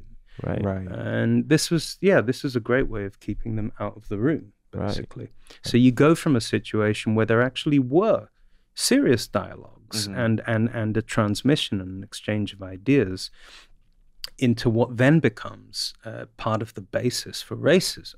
Right. What we call in the book the myth of the stupid savage, not the noble savage, Yeah. because Rousseau didn't Right. really do that Yeah. but you know this fantasy of an individual that is sort of human like but Right. can't actually see the future Yeah. or the Right. past Right. can't really Right. Is, is dumb it's basically Right. dumb and Yeah. at that stage it wasn't i think i think it was already biologized you know if you read cedric robinson there was already Right. some idea of race Right. Right. but in this case it was more about intellect and then of course later you get eugenics and it all Right. becomes part of the same shit show Mhm. Right. that's why these like silly looking archaeology programs like the alien stuff they're actually quite dangerous Mhm. because they bring all that stuff back Right. they want you to imagine a world in which intelligence is not It's alien. It's Ah, I never thought about that. intelligence is not something you or I have as individuals it's something peoples have right. So there are like dumb people and smart people. There's the wise sages of Atlantis Right. Yeah. who taught all the dumb people how to Right. build pyramids. Right, And right. you know, it's this. I actually wrote a critique. I actually did a Marxist critique of one of these Mhm. Netflix shows, and I think I read some of it. uh, yeah, it went in the Nation. Yeah. It was actually Robin Kelley in, in LA who sort of Yeah. uh, provoked me to Yeah. write this thing Yeah. and because it struck me that um, I actually wanted to call the piece uh, "Spank Me." Please, but, but they, they wouldn't. knack for titles. they wouldn't let me. I think it ended up being called "Apocalypse No" or something No. slightly. worse. But It's- it's all right. I want to call it "Spank Me," please, because it struck me that this stuff appeals to people who are basically nostalgic for Yeah. rulers. Yes. It's oh like my goodness. natural We make this master. joke. We make this Yeah. spank me Let 'em please joke all the time. I say I what I always say is oh like people want daddies. Yeah. You know like they want. Absolutely. right. Absolutely. Right. It's like just imagine them standing along the banks of the Nile, raising up multi-ton blocks with their minds. Uh, you know? Right. Uh, Right. Natural Yeah. masters. Where are the natural masters? Right. You know, this is our story in Yes, the UK. the We've got them as sitting in. Parliament now. Right. the natural masters. Yeah. people Right. vote for them with their pedigrees from Eton College, etc. Boris Right. Johnson being a natural master. yeah. So I actually find that stuff at the same time ridiculous, but also kind of yeah. Mm. Freaky- it's a freaky. It's a freaky phrase. Yeah. Natural masters. But it's big. It's so popular, you know. Is it really? Oh yeah, this Netflix thing was massive. Which, Yeah, yeah. what was the Netflix show? Oh god, I had one of those ancient apocalypse. Or Okay. like. Oh, so like Okay. an ancient aliens kind of thing. Yeah. And they were like, Yeah. I mean, when I think of like something like ancient aliens, I think of there's a tribe, uh, the Dogon people, where oh yeah, they have- Mali, right? I believe so, yeah, Yeah. where they have this like insane knowledge of uh of of uh, astronomy, Right. and they're specifically Sirius A and B is like what Yeah, they, yeah, yeah. what gets attributed to them. There's incredible and- architecture as well. Yeah. Yeah, and um, and like the whole thing, there there's never a question of like how what technology do they use. It's Right. always no, they're from space. Yeah, yeah. It's like they're from- exactly. they're gotta be it's from like, space. It's like all this stuff, like pyramids or or Native American earthworks that align beautifully, Yeah. cosmological alignments.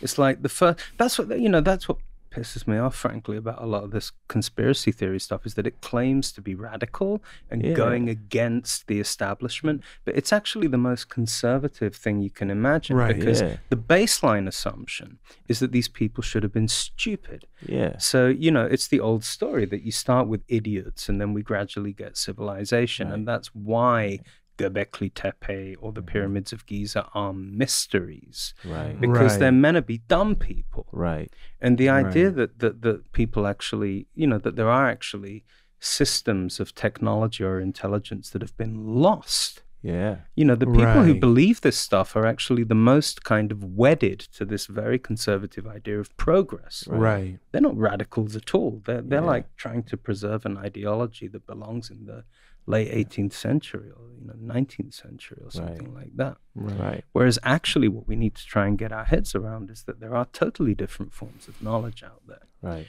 which have been lost, but which are you know actually maybe if we start listening to people again, you know maybe Yeah. it's not completely lost. yeah, And that includes forms of social. I'm not talking about acoustic levitation here or something. You know, I'm talking Right. about you know the fact that non-literate people also had Yeah. incredibly sophisticated calendrical systems or Right. forms of you know ways of managing land and, and resources. yeah. Yeah, And I was saying property. fo- forms of social social organization is Exactly. Right. included in that. And I mentioned, I said before, you know, people want daddies. Uh, Mhm. You know, it's not all people, right? It's like, but we're we're conditioned in this like paternalistic way to just accept that that hierarchy. You know, that this Mhm. specific order arrangement of things. And the one thing I hear people say about how important the dawn of everything is, and also in connection to the ecology of freedom, is that it just Mm. does this fundamental thing beyond you know dispelling of some of these mythologies introducing people to some sort of record of these alternative forms existing long ago you know Right. and i think that part is important too this is well you might have a different perspective on time given your yeah, yeah, but for most people long time ago right centuries thousands Yeah. of years ago Right. you know Right. Right. Right. and how, And how can that inform where we go from today you know? Yeah, I mean, I think it's like I think the way we approached it was to take all the kind of uh, sensitive, like the pressure points of the Right, yeah. traditional story, right the origins of agriculture, the origins of cities, and Right. target those. Mm. yeah It's not about providing some alternative, comprehensive global Right. history. Yeah. It's about targeting the the key spots of the traditional narrative and just blowing them to smithereens Yeah. with- with data. You know, Yeah. Right. just Right. like showering them with data to show that that all the things that were meant to be happening at these threshold moments yeah, that are meant to be irreversible and changed everything either didn't happen or something else much more interesting happened. And in the process of of destabilizing that narrative, Right. other possibilities begin to emerge. yeah, right So that you begin to see all the pathways that weren't taken or that weren't Right. necessarily leading to the nation state or, Right. right, or our particular form of capitalism or democracy or whatever it may Right. be. right. I, yeah, That's the basic idea.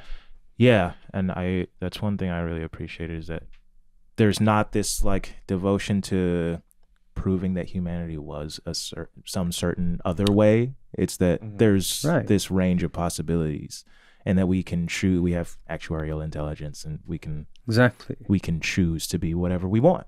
Exactly. you know? I mean, it's yeah. i've always thought it's interesting how in um, bringing it back to film and drama, Yeah. when you have a, a movie where they will um, have people in ancient times or even in medieval times just having an ordinary conversation, we find that funny. Like Yeah. the Monty Python thing, or Yeah, the Mel Brooks right. thing, right. where you know you've got the peasants in the field discussing anarcho syndicalism or something. Right. Yeah. We, we, we find that hilarious, or Blackadder or something. hmm Why do we find that funny? Like, what do we think Right. they were Of talking? them. Right. Yeah. Yeah. Right. Do we think they were like constantly in a Shakespeare play and like Right. you know? Right. um, so I think it tells you something interesting about how we're conditioned, Conditioned. Yeah. Right. right? To Yeah. think that people in the past were essentially not people, or not people like us, Right. who Yeah. could actually reason uh, about the kind of social forms they might have wanted or might want to reject. So Yeah. It's getting very serious, isn't it? It's gonna be a comedy. we gotta, we gotta, I, I have a middle. I have a middle been ground. here under We false back and forth a little bit, you me know? the show is I, I have a middle ground subject I want to put to you though, because you you mentioned Twitter and social media. Uh-huh. I'm curious, like what the haters have like, and by haters I mean like bad faith. They're clearly, and Uh-huh. also in academia, not just Mm. like Oh, yeah. whoever, but people who are archaeologists or historians who are clinging to maybe some of these. And it's just like they, I don't. I'm curious where their mind is at and what they want from you. Me Uh, too. Yeah. you know, I've seen some of it, and I'm like, what? What Yeah. do you want? I I've mean, like, caught what you do address some of them in passing. Yeah. right? Like, did you did you did you receive the information? Like, wh- what do you want? You know, what are you trying to get yeah. out of the? and then some. Yeah, there was, I Uh, saw uh, some leftists who did this. It may have been one just these Mhm. long videos. Maybe you've seen. I can't remember what their name is, but where they're just you know they're just going. Actually, it's Yeah. it's a joke, but they're going actually, you know, basically Mm. through the whole text. They're going like Yeah. chapter by chapter. Oh, okay. Um, but I, I'm watching it. I'm, I'm like, what, a sad thing Yeah, to do. that's how I feel. That's how I feel. That's kind of, that's Yeah. a big thing we talk about uh, on this show is that how those people are losers with no life. Oh, That's what Connor. That's what Connor- that- that's what you're I mean, saying. no, Yeah, no, no, no, I mean, look. He just said uh, that. It is a it is a compliment. I mean, if someone's literally got nothing better to do with their time, Thank you. then Right. If you're a loser, go ahead. Right, right. exactly. Yeah. no, I can't. David and I are on. uh, You know what I'm saying? Like, I can't. I thought sarcasm was going to be our thing. you do that too. Um, yeah, we do that. okay. Yeah, yeah. Uh, no, seriously, I can't worry about that stuff. I don't know. Yeah. People have got their hang-ups or whatever. Yeah. Right. It No, I get it. Me. We did our homework. No, I get. It. I used to I'm do, Obviously, yeah. no, I used to do like anime videos online, and I would have people do the same thing. So I get it. We're kind of the we're kind of the same. We're kind Yeah. of the same here, you know. You understand. Yeah. I mean, there what am I going to do? Like, Yeah. what do you want right, right, right. But have there have there been any that have just like that you found uh, sort of revealing even in Oh, terms yeah. of like the the the cognitive dissonances or the oh, the you mean like the bad faith stuff? Yeah, yeah, no, yeah. I, s- I, I just switch off. Like if I start reading something, and I Mhm. don't think I'm like a horribly blinkered person who Right. can't take criticism or Right. anything like. I mean, I'm out there pretty much on a weekly basis right debating this book on campuses or Right. whoever will talk to me. It's not like I'm shying away from discussion. Of course. Nobody can accuse me of that. right Right. right right, Right. Maybe some other things, but not that. Mhm. But if I come across something in whatever medium it is, and I just see like a description of things attributed to us that are just bear no resemblance to Right. what we've written, right I just turn that's the through line Yeah. I just that's the turn through off, line because people it's who- it's yeah. pointless. It's boring. Yeah, right. actually, it's not my job to go and make Explain, them do their right. homework. you know? right to explain it Right, back right. to them right. The the only response to that is read it again. read it again Yeah. yeah, Right. absolutely Right. yeah Yeah, I was playing around, but we really do have conversations on here about like how interfacing with online is the new version of Uh-huh. basically any dialogue, and how spaces where that's not the case. Is yeah really important. well I, Yeah. right and i guess uh, i got uh, someone dm'd me uh, on twitter uh, a leftist who was um, and you know it's it's an anonymous person but Right. they were suffering because in their uh, discussions and so on they every time he would try and bring the book up somebody would throw one of these you know, like probably the kind of thing you were describing. Mhm. Say, oh no, no, no, that's been like disproven or Right, whatever. Yeah. And he was kind of upset about this and saying, "Why don't you, David? You know, why don't you respond to all these things?" And, and I was just like, "Just get some new friends." Yeah. But also, I guess there Some is a, a there is a space now where actually people don't read the book and they only get it. It's all secondhand. Right. That's yeah, a part they're only Yeah, getting, and and that is, um, yeah, I guess that is a problem, actually. Yeah. and but I don't think it's anything I can do much about except just stay out there, just Right. do my own whatever. Right. Yeah. Do my TED talk. I did a TED talk. I'm not like the world's biggest TED fan, Yeah. but I want that platform, uh, and and and do things like this. You know, that's what I can do. And it's it's i think on that point it's it's it's grounded in critical thinking Mm-hmm. you know and like that's just so fundamental but it's it feels so there's not enough of it you know just like foundational principles for maybe us but in terms of how people are rec- receiving information especially you know the big conversation now is you know how do you trust the information and where it's coming from. Yeah, that's how am i that supposed one to trust Kind of mystifies me because so many of these books about big history and the broad sweep of human history, they're not actually written by people like us who've actually trained as archaeologists. Mm, They're written by people right totally out of the field. right Right. yeah But we get shit. Right Like, how can we Right. trust these guys? Yeah. Right. senior professor of archaeology Right. and Right. senior, uh, two of the, Right. Right. two of the, the, Yeah. the, the like the top ten universities in the world. Yeah, right That's right. that's suspect. I mean, Right. so, like, that's what's mystifying. Does it- That's a part of what's missed. it's mystifying. interesting. I Yeah. mean, it's part of that discrediting of experts, right. which Yeah. we see everywhere, Yes, right? I mean, it's in our politics as Right. well. There was even that British politician who said, "I don't want to hear any more experts." Right.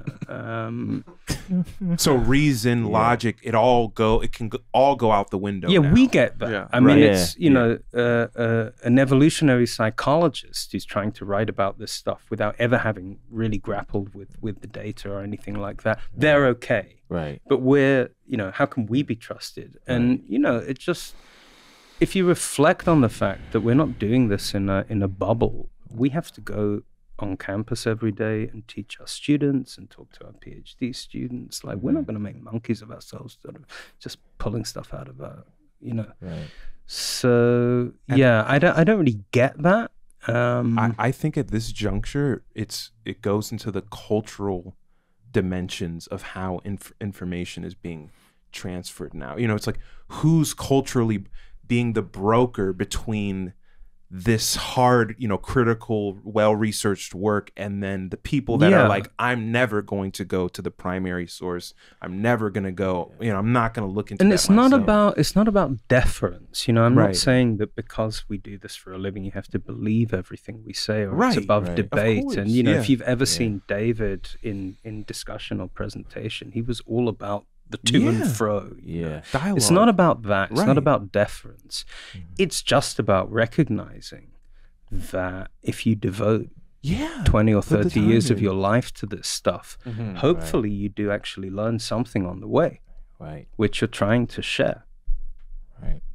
I think I do think in a funny way capital and capitalism is to is is to blame for this Ah, in this in the sense that you know on the trust thing it's like well yeah you can have the the credentials but like anyone will do whatever for money right Right. and Well, so yeah. so I'm That's not cynicism. so listen to me I'm not doing it for Mm. money so listen to Yeah. me Right. right Yeah. that's a part of like the Jedi Right. mind trick, you know, and the, and the people there's aren't going to think, you know, critically about it. So, you know, it's just going off of. There's also the through line. Of That's what I meant by the free cultural. thought.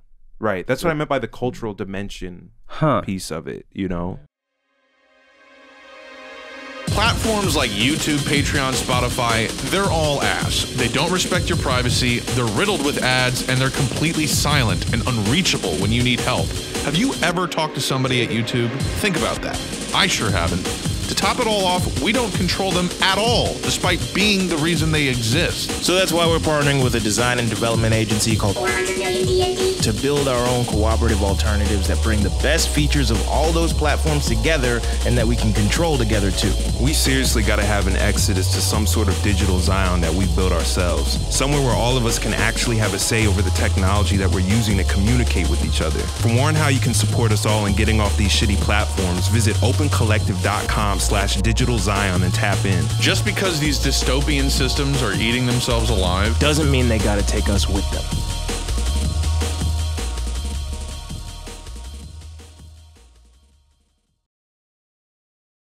Yeah, I real never quick, sorry, about it our monitor turned off. I think we're still recording, but It's recording. okay, Mm. probably just ran out of. Do you battery. need do you need anything Okay, by the way? Coffee. Coffee. I wish I was a coffee drinker. Had some coffee for you. That's, uh, How long have we been going?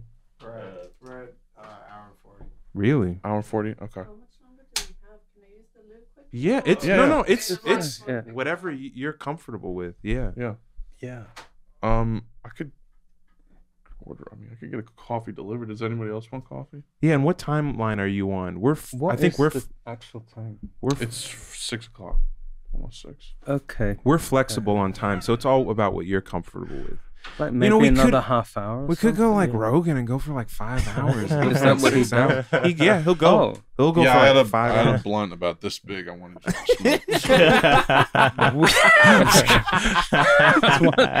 yeah, your we last victim. exactly. That's what it turned into, actually. I um Con- we didn't talk about that, but you know I got invited on the Rogan. Yeah. Oh yeah. Would you be comfortable talking about that on here or no? Well, there's nothing to say because I didn't go on it. Um, but they wanted me People to go. would fi- people they would did. find that they very they did want me to go to Texas and spend a whole day there or something debating that Debating. ancient aliens. Oh. Oh, Oh, you now we need to talk about this. Yeah. Now the to your, the to your guy, point. the hair guy, or just like one of the guys? There's a there's hair a, guy. there's a hair guy. Yeah, Oh, yeah, there's the guy. That's been Yeah. a meme It since. Hank, the British guy. Yeah. Well, or no, it's just the, The- guy who goes alien. Alien. Oh, It's a no. meme. It's Yeah. been that meme for like Yeah. a There's a. British guy called Graham Hancock who's I think Ah, is mates with Rogan, and Mm. Rogan appears on his shows and God knows Ah. what. But yeah, so it wouldn't have been much of a debate, you know. Oh, This is the Netflix guy. oh, okay. So he would have crushed you. Would have been. Yeah, This is this is when you were talking earlier about oh how this this is da- Oh, yeah. dangerous. This is who I was thinking. no, I have no idea who that is. No, this Yeah. guy is called Hancock. And, We're still uh, recording, by the way. Yeah, right? yeah. yeah. Okay. We're. Yeah.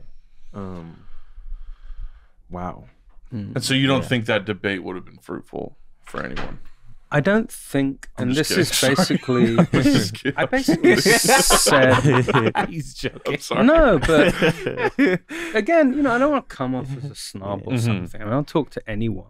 Although this guy strikes me as exactly the kind of guy you don't want to get stuck with in, in Right. a pub. Right. Yeah. It's like Right. talking to a flat earther or something. Right. But uh, Why? I said I said what I've got to say in that piece I wrote, which is basically that there wouldn't I can't see how there would be a starting point for a debate because the trap that you're supposed to fall into as the expert or the archaeologist is to like get tied up in his bizarre chronological schemes or something. Right. oh no, but that's like 2000 years too early or something. Yeah.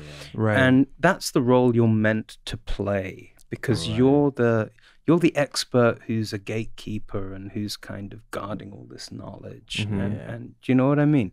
Right. Um, so you know, even to to kind of begin on those terms, given that what he's saying is so completely divorced yeah. from what we actually know, right. right? You know, like he's got this argument that the there's a kind of um, period at the end of the last ice age. In geological terms, it's called the Younger Dryas period, Mm-hmm. where you get the end of the ice age, and then you get the beginnings of global warming and the beginnings of the Holocene uh, geological phase, and then there's a blip called the Younger Dryas. See, you're interested now. You're thinking Uh-huh. aliens. Tell So me- there's a tell me blip. more. There's a blip. uh, and it's a period of about thousand or two thousand years, yeah. in which you get this sudden uh, snapback to cold glacial conditions. Hmm. So all the people are coming out. They're thinking it's party time. You know, the ice, ice age is over, and then suddenly you're sort of back to ice age. And I think in the story he tells, this is meant to be like some cataclysmic, you know, event which wipes out half of civilization or something. And then you get this little band of hardy survivors who are the wise sages, you know, sort of Atlanteans who survive the ice age and, you know, can then um, preserve all the knowledge from the lost city of Atlantis. and you know, you see what I mean? Yeah. Like, what kind of debate? right, on, right. And we know on. so much about the Younger Dryas. Like in the Middle East, there's all kinds of stuff going on in the Younger Dryas. Right. And, you know, they might have been a bit cold, but they're also, Right. they're also building villages and actually, you know, doing interesting things with crops and Yeah. making Mhm. little figurines. I mean, so, you know, t- I think this stuff has to be treated as what it is Right. and what Right. it is is is a kind of um, it's myth you know Yeah. it's Right. it's like weaving a Right. Weaving a certain it's like a system of thought which has its own logic Yeah. Right. so i yeah i i don't Yeah. you know i think especially if i were to go on something like the rogan show where you know there are editors and you can Mm, end yeah. up being cut down to a sound bite Right. which exactly makes you fit Right. the Yeah. role that you are meant to play Right. Right. which is that of the uh, the gatekeeper of knowledge and so on so it's Right, a, it's right. it, it's a trap. Academic crushed by. So weird way to It's a gatekeep. Right, right. knowledge by writing and then publishing a book for everyone to be able to read yeah. and get the knowledge. Right. It's a weird way to gatekeep it. It is Mhm. interesting because you know I we get a lot of messages from people being like you should bring on someone that you disagree with and have a Mhm. real debate and like otherwise it's a it's a bubble or whatever. that could is- still happen can- if I don't get coffee soon. This is It's going to turn into a it's physical debate. get very ugly. You know? You're gonna get back to brawling. Go No, back no, no, brawling no. days. Mhm. but uh, but What, no what is this? Is this edible? Does this have caffeine in it? If I chew on this, yeah yeah this is these are actually co- ground coca leaves uh, Mm-hmm. uh but no people like try to try to It- I was once at an, an academic meeting with a guy who was even more of a caffeine addict than, than I was, and they, they didn't have any coffee, and he was getting desperate, and he actually took one of those little in his bag. He had one of those little Nescafe sachets, and he snorted it. oh What? wow oh that's holy that's perf- that's performative That's like That- this no, an that's- adult. That's like In a line of that's crazy. Yeah, that's like That's- European caffeine addiction. You're you're injecting espresso into your Oh my fucking arm. That's insane. That's performative. He re- he just They really just wants they you to just have upper addictions here. We're just addicted to amphetamines here. We don't yeah, do that. right. Yeah.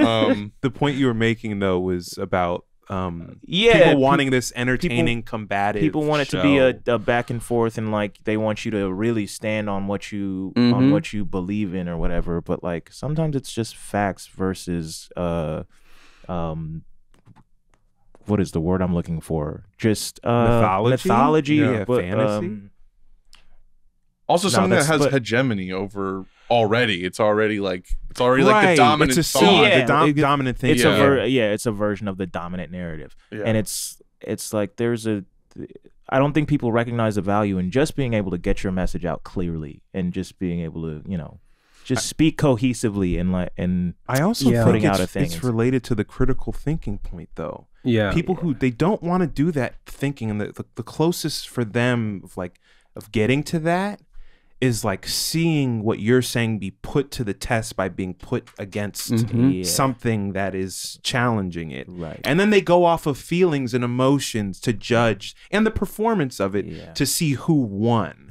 And now I'm going to side Yeah. with more secondhand Ah. interpretation. Now I'm going to side with the person yeah, who I exactly, feel like right. won. You know, the idea that it would be framed as a sort of game of winners and losers, Right. is Right. is, is Right. itself It's like Yeah. right inherently completely arbitrary right, right way of actually conducting a discussion. right, yeah. Um, But we're in that age. I mean, especially it's us, about the you know. quality of the discourse, right? The way we Right. see it eroded down in every field of life, Right. especially politics. Right. I mean, in my lifetime, it's amazing how the you know the, the the actual quality. When I was a kid, he used to have these programs on a Sunday on TV where this guy Brian Walden would just sit with a politician and grill them for like Yeah. three hours, and there was like no frills. I just like I've got this person in the chair, and I'm going to hold you accountable for your policies. You know, Right. and now nobody even expects the truth. Right. Uh, so it's this kind of erosion of the discourse. Um, I got interested recently in this Italian uh, kind of polymath guy called Furio Jesi, who died in the uh, 1970, I think, when he was very young, but he was clearly some kind of genius. Mm-hmm. He started as a, he was already writing Egyptological treatises as a teenager. Mm-hmm. then he went into philosophy, and he was particularly interested in mythology. And it's one of these times when I sort of curse my linguistic incompetence because a lot of it is not translated into English or badly translated. And he did a lot of studies of um, of Germany actually, Mhm. and particularly the 1919 revolution. He wrote a book called Spartacus about Mhm. Rosa Luxemburg and all that stuff. But the one that really interested me, he wrote a book called The Culture of the Right. And you know, it's interesting, isn't it, how you you rarely see close cultural analysis of right wing thought. Right. I think because a, a lot of leftists are slightly condescending. Right. It's Yeah. like those guys Right. are hillbillies. Or, Right. Yeah, so, right. know, right. it's not worth analyzing. Right. Right. But he does it, and it's actually fascinating Yeah. with regard to early 20th century Germany. And one of the things he talks about is myth and how right wing thought and fascist thought they require the human past to be like putty in your hand, like something totally unstructured Right. and malleable. Right. Yeah. So just by introducing structure and complexity, Mhm. you're already actually undermining that Right. kind of myth making, Right. you know, because it's not black and white. Right. Right. Right. Right. Right. So it becomes a question of who is willing to wrestle and and fiddle with the gray of it all. Who's willing to dive Yeah. into that Yeah. and try and parse it. Yeah, that's what uh this is a thought I had last night. That was really interesting to me 'cause be- because people have that scale question in terms of society, and the reality is, in many ways, we're trying we've like simplified society in a way Mhm. that's catastrophic. You know, over Right. over thousands of years. Right. You know, right. and the reality is like it's not in, as complex. In fact, we've reversed a lot of the complexity in Yeah. a lot of ways. You know. I'm also thinking of Adorno's um the authoritarian personality on this Yeah. point Uh huh. and how yeah, people who are you know, because of how we're conditioned under paternalism, they they either see themselves as the dominator or the one who's supposed to be dominated Mm. and how it makes you more susceptible to these this type of setup I was describing before. You know, you know, I'm gonna watch these two f- battle it out, and the dominant one, the one that Mm. feels dominant to Huh. me, wins. You know, it's not. It's not. I don't. I'm not gonna th- interrogate the con the content of what's being said here, Mhm, mhm. or th- you know, think that I can think about it myself. Because who am I? This is actually and it's quite helpful for me Mhm. actually because I you know I'm trying to think through like what do we do now? What do I do now with Mhm. the uh, the legacy of this book? And you know, we put these concepts out there. Right. We want people to run with them, Right. and we we ourselves intended this to be the introductory book to a whole series. Um, David used to joke that like this is the Hobbit. Oh man, Wow. Just The Lord Hobbit. of the Rings. Wow. wow. But it doesn't work because the Hobbit's quite a small book. Mhm. We've already done the Return of the King. Or something. Yeah. Uh, I don't know what he was thinking of, but and we didn't really have a scheme or a plan like what this would look like. We just knew there'd be three. it's Yeah. quite typical of the way we work. uh, so there should be three three sequels. Mhm. Okay. Um, seriously. cool, Um, but one of the concepts that that I I know you know I've, I've noticed over the past year that that engages people and they want to talk more about is this idea of the three basic freedoms or the three basic Right. Yeah. forms of, of freedom. Um, one of which, the second one, is the freedom to disobey And taken just like that, that can sound a lot like uh, the kind of libertarian freedoms that could be uh, anti-vaxxing or anti but it's not. Yeah. because the way we explain it is that it's back to the quality of the discourse.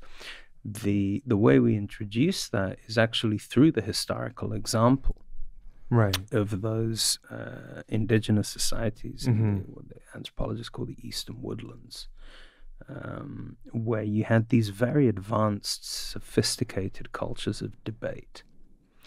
And Right. you know, the point about disobedience is that if you can't compel someone, you can't order someone to do something, you still have to do things, but the only other route is through persuasion.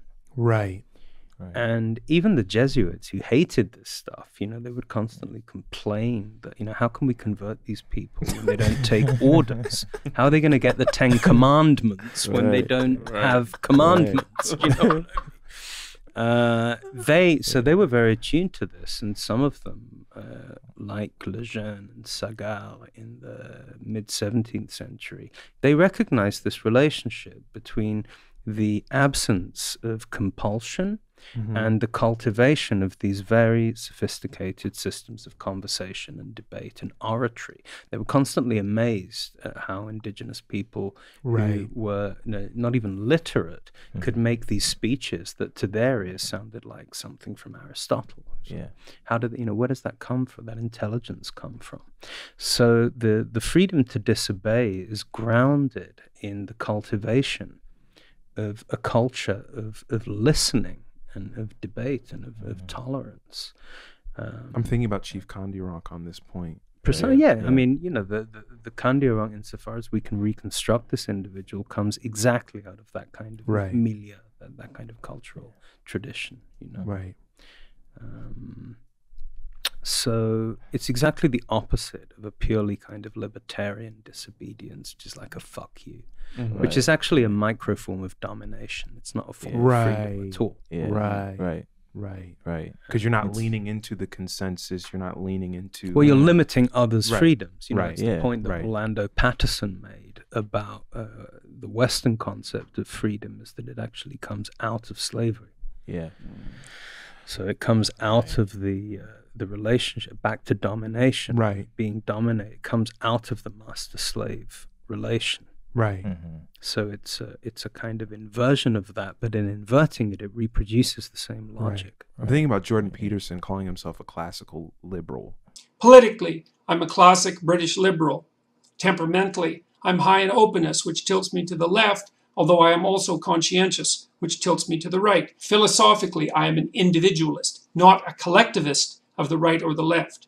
Metaphysically, I'm an American pragmatist who has been strongly influenced by the psychoanalytic and clinical thinking of Freud, Jung, and the psychotherapists who have followed in their wake. Uh huh. and I was like, what you just described is the contradiction of classical liberalism. Right. You know, Right. they're right. talking about all these virtues in the abstract while, ha- Right. you know, enslaving people. Right. know, Exactly. yeah. So, you know, I think uh, what needs theorizing and what needs thinking about are what you might call social freedoms. Right, So, yeah. a kind of freedom that actually enables other people to be free. Right. Which I, right. th- I think we struggle, we being anyone who's, let's say, broadly educated in the European or Western way of tradition, I think we struggle with those concepts, actually. Um, so we put this idea out there that there there are basically three forms that we felt we could kind of identify and distill, in which we see operating in many many cases, almost anywhere actually, which is either uh, um, before or beyond the shadow of the modern state. You Mhm. can see these forms of freedom operating in a very concrete way. And that includes things like ancient kingdoms and empires, which, you know, we've all been to museums. They, they always project this image of, I am the great king who is like a god and commands everything. And they project this image of totalizing power. But actually, one of the fun things that archaeology can show Right. is it's mainly bullshit. Right. Yeah, right. Yeah. They can't compel these huge numbers of people to do Right. things in the Can't same even way. that- call another country and be like, "You're doing what I said." Right? Yeah, and they gotta can't- wait for a parchment to come back. Yeah, Yeah, and they can't make it rain either. but they say they can. Yeah, Right. Um, Right. So actually, Soldier Boy can do that. Ah, Ah, of course. Yeah. yeah. Well, It's a low coffee. Bojo. man. Uh, what was that? coffee. We uh we can just wrap it up. It's not, you know you gave us a lot of time. Yeah. Unless you want to do a break and come back, but I mean I don't know. Let the man. I would love more time with you, but I'm not gonna. I'm not gonna. I'm serious. If you you. can get me an espresso or something, I've got another half hour in me. I think.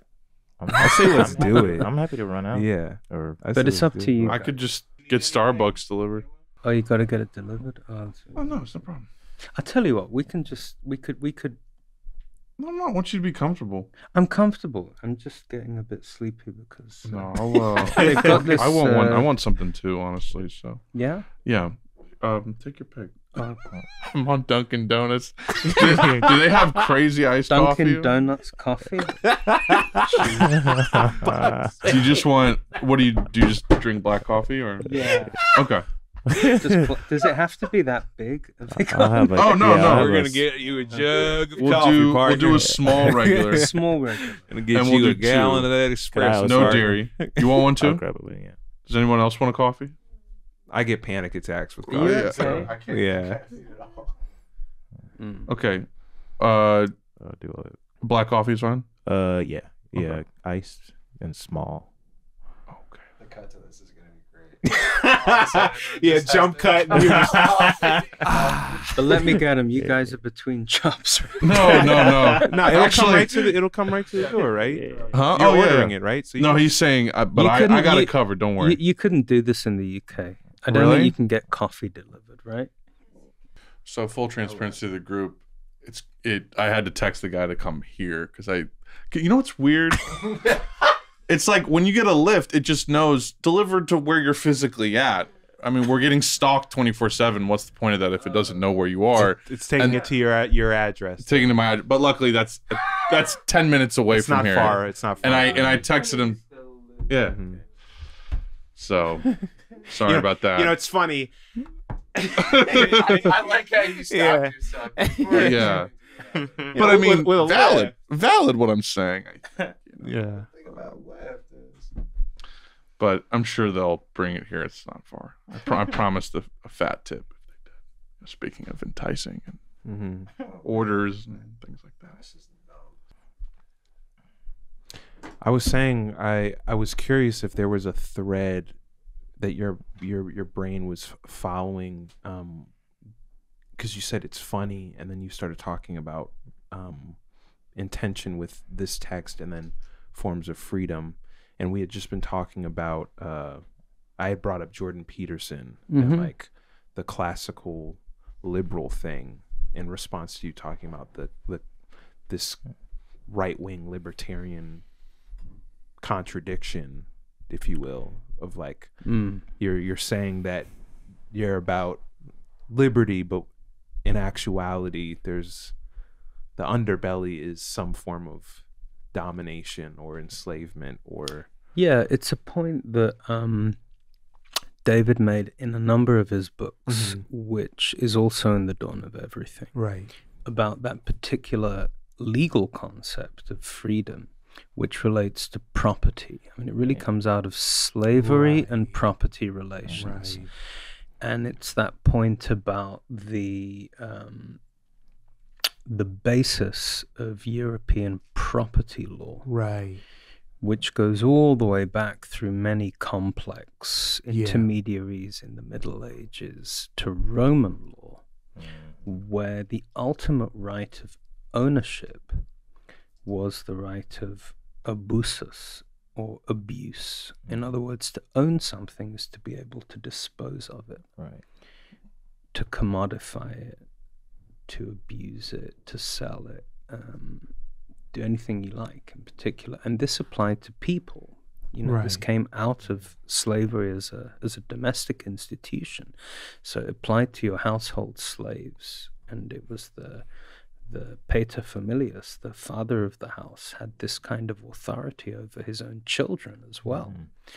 Um, Right. so there were three grades of ownership. There's the right of uh, usus, which means the right to Right. use something. Usufruct, Fructus, yeah. usuf- it's a Yeah. usufruct is like a combination, of the Combination, first yeah. two. Fructus, where you, you, you use the fruit literally of, of whatever, so you can you can pick those berries, but you don't own the, Right. the land they're on. Right.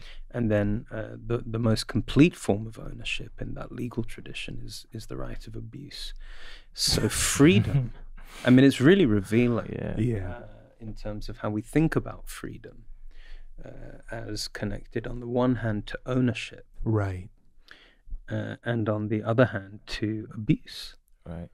Um, so that purely kind of atomized individualistic Right. libertarianism is always at the cost it's always at someone else's expense Right. i'm not going to wear my, my, my covid mask on this train i'm asserting my freedom Right. never mind that the old lady next to me you know whatever this is my freedom Right. that's you know a kind of toxic freedom which is really a form of domination Right.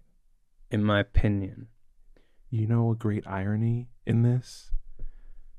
That we use commonly use the word libertarian mm. to Yeah. describe this. And it was an appropriate it was taken Right. from Yeah. anarchists. so i think we use a word that was taken, that was expropriated you know, exactly from it's confusing and it's something it's Yeah. some it's a confusion Joseph that- de Jacques, just for people who are right curious. So I think we have to take these concepts back. I mean, I think it's like Yeah. the worst kind of uh, intellectual and moral mistake that the left made is to give freedom away as a concept. Yeah. Um, but you know, this I don't think this can be just kind of an ideological move or counter move. It's got to be underpinned by something Right. Right. Right. like some positive notion of what those freedoms might might mean. So the other one that we talk about a lot in the book is freedom of movement. Mm-hmm. But again, you know, this isn't just like some purely individual uh, Right. thing. It's predicated on an infrastructure. Yes. So it's predicated on the idea of asylum yes. and hospitality. Uh, you know, we talk about these traditional clan systems where people could move over large, and you have versions of this on every, Right. every continent, like Horn of Africa, Australia, North America, Right. where people could move away and be received uh, outside their, even outside their language group, Right. Right. because they are um, part of this extended network of, of care and hospitality and all these kind of things.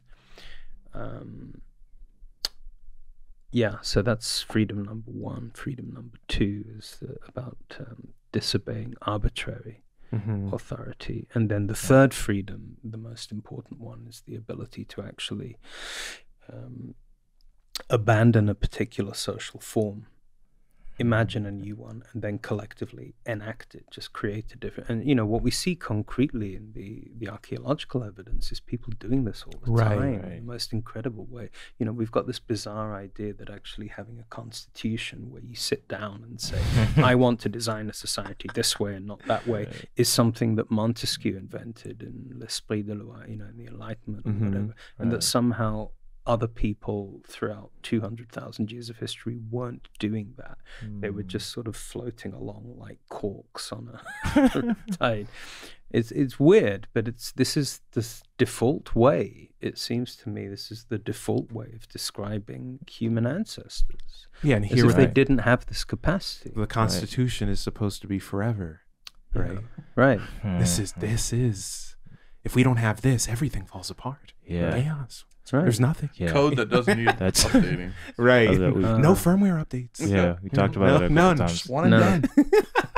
Just, I love that, that idea. If if they just did what's on the paper, everything, everything would be great. All Yeah. follow the rules. You know? Yeah. So I think what what we need to figure out um, more, that, you know, having just raised these questions, what we now need to try and, and figure out is the relationships between these freedoms. Like, how does the breakdown of one kind of freedom lead to the breakdown of the other kind, and eventually Mm. lead to a situation where it's basically unthinkable to actually deconstruct and then reconstruct the social order in, in any fundamental way. Not just like right. tweaking around Right. the edges, but just to say, okay, this is a disastrous path we're on. Right. Why can't we move? You know, why can't we get off? Yeah. right? So what is it that leads us to to a position? And you know, we don't pretend to have definitive answers in in that book. We we we have some pointers and we have some hunches, and they're based on evidence. But all of this needs more, much more thinking through. Right. Uh, actually, There's a precedent for it in America, right? Mhm. The, with Cahokia and these other places. Like, yeah, that's a really important case study uh, Yeah. in the book um, because, well, for a number of, of, of reasons, it does seem to exemplify this phenomenon of just moving away yeah. from uh, a kind of authority that is becoming Right. uh, oppressive, Right. Right. Um, moving away and, and just reconstituting society in radically different Oh forms. But it's also it's a it's a key point in relation to the second freedom and that whole tradition of democracy that Europeans encountered Yeah. on, in the eastern woodlands, because you know what they assumed, and this eventually is what comes through in the writings of Rousseau, is that that's just what these people were like. But what we try to what we try to argue in the book, and it's um, it's an argument which is controversial, but uh, it is certainly not beyond the bounds of possibility, is that actually the kind of uh, um, democratic forms of participatory governance that Europeans encountered were actually a historical counter reaction to this Right. earlier thing, which Right, is yeah. epitomized at Cahokia, Right. which is this much more hierarchical yeah. uh, form of society. And there are examples of oral literature. There's a Cherokee story about how we used to have these guys, these priests who, you know, abused women and abused Right, their yeah. power, and then, you know, they dispatched them in some violent way. So, you know, there are Right. these memories of an authoritarian past. Right. You get it in the Haudenosaunee stories as well. Um, and um, yeah, I mean, it's getting to the point, I think, with my field, not just in North America, but in Amazonia, for example, where you can start to put the pieces together of like the deep history that wasn't meant to be there at all, yeah. but is there. Um, and what Europeans encountered when they first arrived. So you can begin to see, you know, a historical pattern taking form, which is really important, I think, because it, it it's the only way to really get away from this idea of um, like natural freedoms or Yeah. do you know what I mean? Right. Right. Like as if these as if you didn't have to work There's for no these sense of organization. Right. As if there were people to whom they just sort of they're just born that way or something. Right. Which is itself a form of racism. basically. Right. Right. Yeah. Right. That or it's a part of a natural progression of history that Exactly. so you can just twiddle your thumbs until the next free Right. society comes and Right. Right. Yeah. And then you've got other examples like in the Midwest, and, and we talk about the Osage Nation, for example, where they did all three freedoms at once. so actually, the, the, the, the word, the indigenous word for um, um, moving away was the same as basically founding a new constitution. So, Right. you know, what we would call a social movement, actually. Right. It's like a physical movement. Uh, so they're constantly relocating in each. And this was recorded in the case of the Osage. We have much better accounts of this because the person doing the recording was was an indigenous guy called Francis La Flesche. Uh, he wasn't Mhm. himself Osage, but he, he Mhm. was actually fluent in the language. So we have a much better handle, and and it's incredibly complex, like the kind of constitutional discussions and reformations they would have. Um, yeah, I mean, it's indisputable that these things were, were going on. Is there a particular text or Oh, and by the way, there, we know that there was a delegation of Osage who went Mhm. to Paris at exactly the time that Montesquieu was composing this. wow. Wow. um, wow, just saying. wow? I was gonna say, just are there- saying for the haters. Are there any like texts or resources like you'd point people towards to explore that in particular more? Is there a lot written or Yeah, about? yeah, yeah, yeah. Uh, I would definitely check out uh, the work of, uh, I think it's Robert Warrior. Okay. wrote a fabulous book on uh, reclaiming some of these intellectual traditions. As you're describing that, I'm just I'm thinking about you know indigenous Mayas and the Mares in Chiapas, Mexico, and I'm thinking about the autonomous administration of northeast Syria. I'm thinking about Mm-hmm. modern day examples of this, and, and Mhm, I mean the mhm. context is different and the forms are different, but it's the same thing of people m- moving to reorganize themselves, even in this Right. global nation state, you know, context that we're in. Um, This is a really key point, and it's actually something that I wish we'd made a little clearer in the book about the Mhm. indigenous critique. So the you know what we call the indigenous critique. First of all, it's one of many possible critiques then and now. Secondly, it's not like a worldview. right, It's more like a weapon of choice. right, You know, it's Right. uh, it's it's responding to a Right. very particular form of colonialism right, in the same way that if you look at more recent indigenous critiques like uh, Davi Kopenawa, you know, gives a shamanistic critique uh, Mhm. from uh, Amazonia of capitalism. hmm Um, that is, you know, that is addressing a different enemy to the one that landed on the shores of, of what's now Canada in the 17th century. So right, I think like it's so easy to slip back into a mindset where you say that sort of anything that comes out of the mouths of a non-European person right, must be expressing an ontology or like Right. a total worldview. It's like people Right. are strategic. All people are Right. strategic. They can do both. They can be multilingual. They clearly were multilingual. right, You know, they can also play games and, and, Right. and, and have oppositions. And um, so, yeah, the, these are um, these are strategies which draw on rich cultural traditions, but they don't contain the totality of that tradition. That's Right. that insight is at the center of Zapatismo as a framework. It's Uh-huh. like at the center of what they put put forward. Exactly what you just described. Can you tell me a bit more? Because I, I I'm curious, like uh, how that.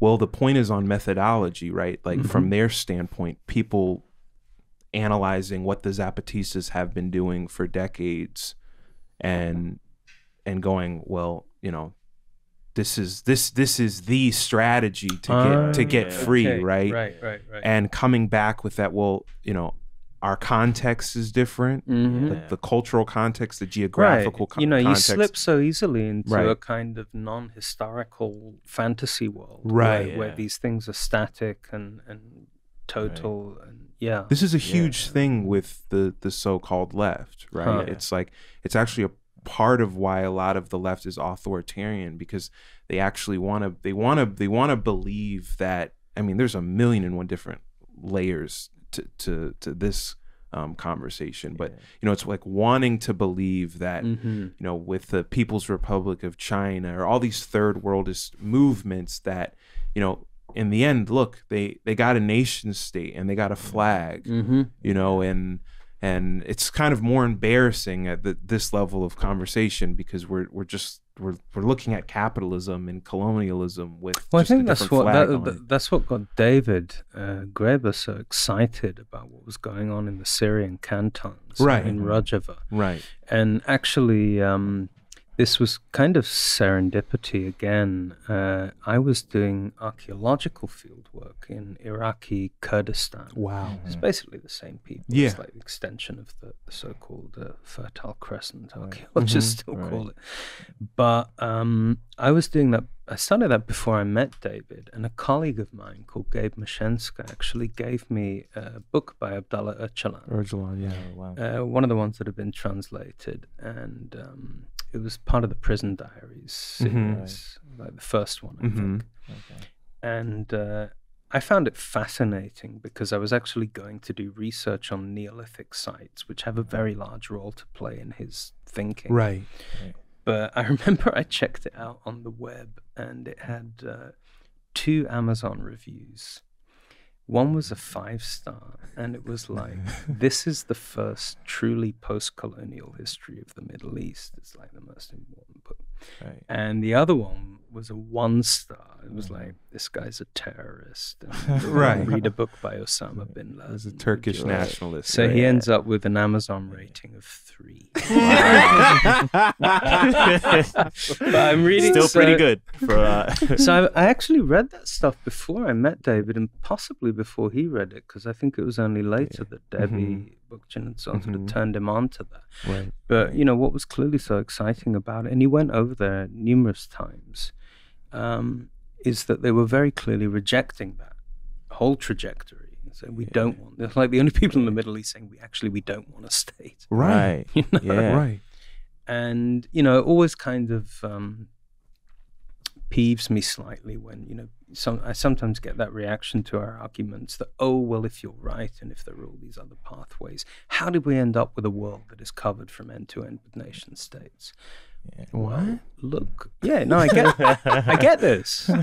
Like Uh-huh. how come it all led you know why why, why does it all look the same if if, if we're such a creative species and blah blah. Blah so well just look at what happens to people who try not to do that like look at the violence Well, that's my. That's that's where my what? That's look where at that comes look at the violence i mean imagine what would happen if those people That's were actually operates. allowed Right. just for a year or so you know Yeah. Without without without bombs and and without militias attacking Right. them and without being deprived of water and sanitation Right. imagine what they could do Right. but in fact what's happening is this supposedly natural political form called the nation state which is meant to be the logical culmination of human history just wind it up and watch it go is so insecure Right. that it needs to be Right. Right. on Right. it all the time, making sure these people cannot have peace, right. right?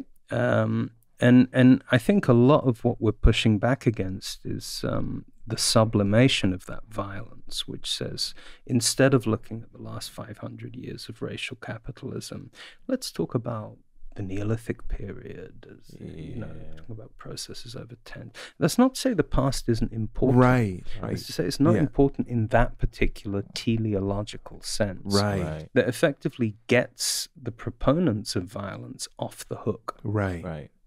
Right.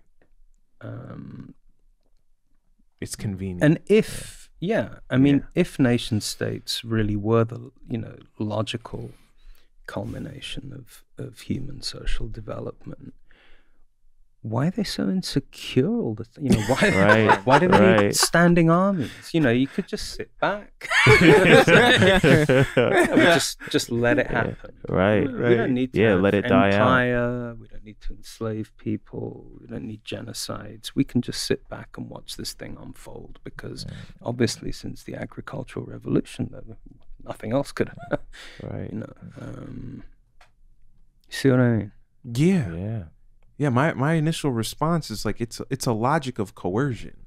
Yeah. The whole thing is predicated on taking and violence and and holding the gun up to your face and saying, you know what Mhm. to do, right? You know Mhm. you know you need to do this, right? Mm-hmm. Right. And when you have these global hegemonic organizational bodies uniting with each other in that Yeah. logic of coercion. You really need to like pay attention to the pushback. Right. It's really Yeah. important. right. Right. yeah. Yeah. There's a I've- lot of insight in there. Yeah. And it's reinforced in subtle ways. I was just thinking about the concept of just like I get mail from people I've never seen in my life. And I just think about that. Like people I don't know just know where I live Mm. at, at all times. you know? Like that's just a scary, like subtle thing where I'm just like, I guess He I doesn't better- have that problem because there's no sign of that No. coffee. No, that's I was about to say, no one can find Like, this. who the coffee con? It got to my place and Oh, it's, it, I'm having my girlfriend lift it over for you. Uh, I'm so well, sorry. for us, but yeah. I didn't realize. it no, was it's such a like kerfuffle. it's it's the gig economy. Let's unpack it. yeah. How do we get? I think we're, we're we're probably like grinding towards a conclusion. Yeah. at Yeah. this I'm sorry. Yeah. I, No, I that's failed fine. you, David. You did it without. No, no, you definitely no, gave no, us no, another that's- thirty without the coffee. So many Yeah. things. Yeah, I appreciate yeah. that. I'm not sure about quality. but- no, oh, no, no. Oh, you should see some of the some of the more slower moments on this Oh, program. Yeah, you'd be surprised. You'd be blown away. Uh, we just needed someone with a British accent to come on here. Yeah, I and validate I us. wing it at least an hour. oh yeah, before people get on to you, like Yeah. Just being- See all you in the comments. We got a guy. We Yeah. got someone they here. still trust us. Yeah. British, but not Hugh Grant. Uh, They'll get me Right. through the first hour. Would Uh, you would you come back on again? Sure. But you got to get that guy who my friend likes, mm. Zach. Oh, yeah. no. Then I'll Oh, come yeah. back. Okay. I want to Yeah. get Debbie. And Debbie. you and Debbie. That'd be amazing. Yeah. Yeah. That'd be great. because I do I do want to have a conversation about the ecology of freedom and hmm and its sort of connection to Mhm. this, Yeah. this Maybe Yeah, we do like yeah. a little Freaky Pleasure. Friday thing, and Zach lives Debbie's life, and Debbie Just lives don't, Zach's please, just one thing, just don't ask me to do remote because I hate it. Oh, yeah. Oh, I no, feel you. No, Yeah, never, no. does my Nah. head in. never. Life. I mean, remote coffee failed me today, so Should've just I could have. I could have. Okay, thanks, guys. I really enjoyed Yeah, it. thank we so we have Yeah. a tradition though we we clap out Oh, yeah, that's we right. clap together okay. to end every Yeah. recording It's true. I, I can go. I'm just gonna count to four, and we clap on four. hmm okay, we don't want to. This is like a. This is what we call in English. This is like what we call a, a Sunday cricket clap. It's like Mm.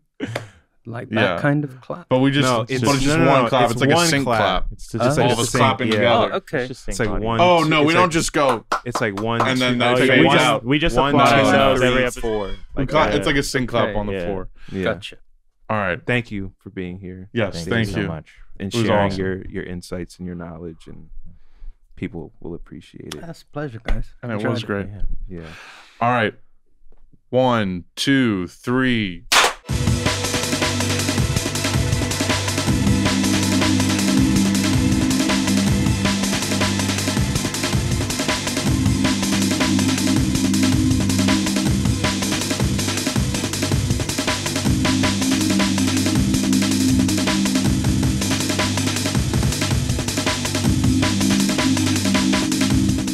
Last thing, we got to get his head. Right we got to shoot his. Sorry, we have to get your portrait. We have Yeah. get your Oh, oh, portrait. Yeah. Yeah. Uh, So I've been in this situation many times in deepest his head. Amazonia. Yeah. oh, one last thing. We just need to keep your We just head. you don't. You're not One using appendage. that. You're not using that, are you? For anything?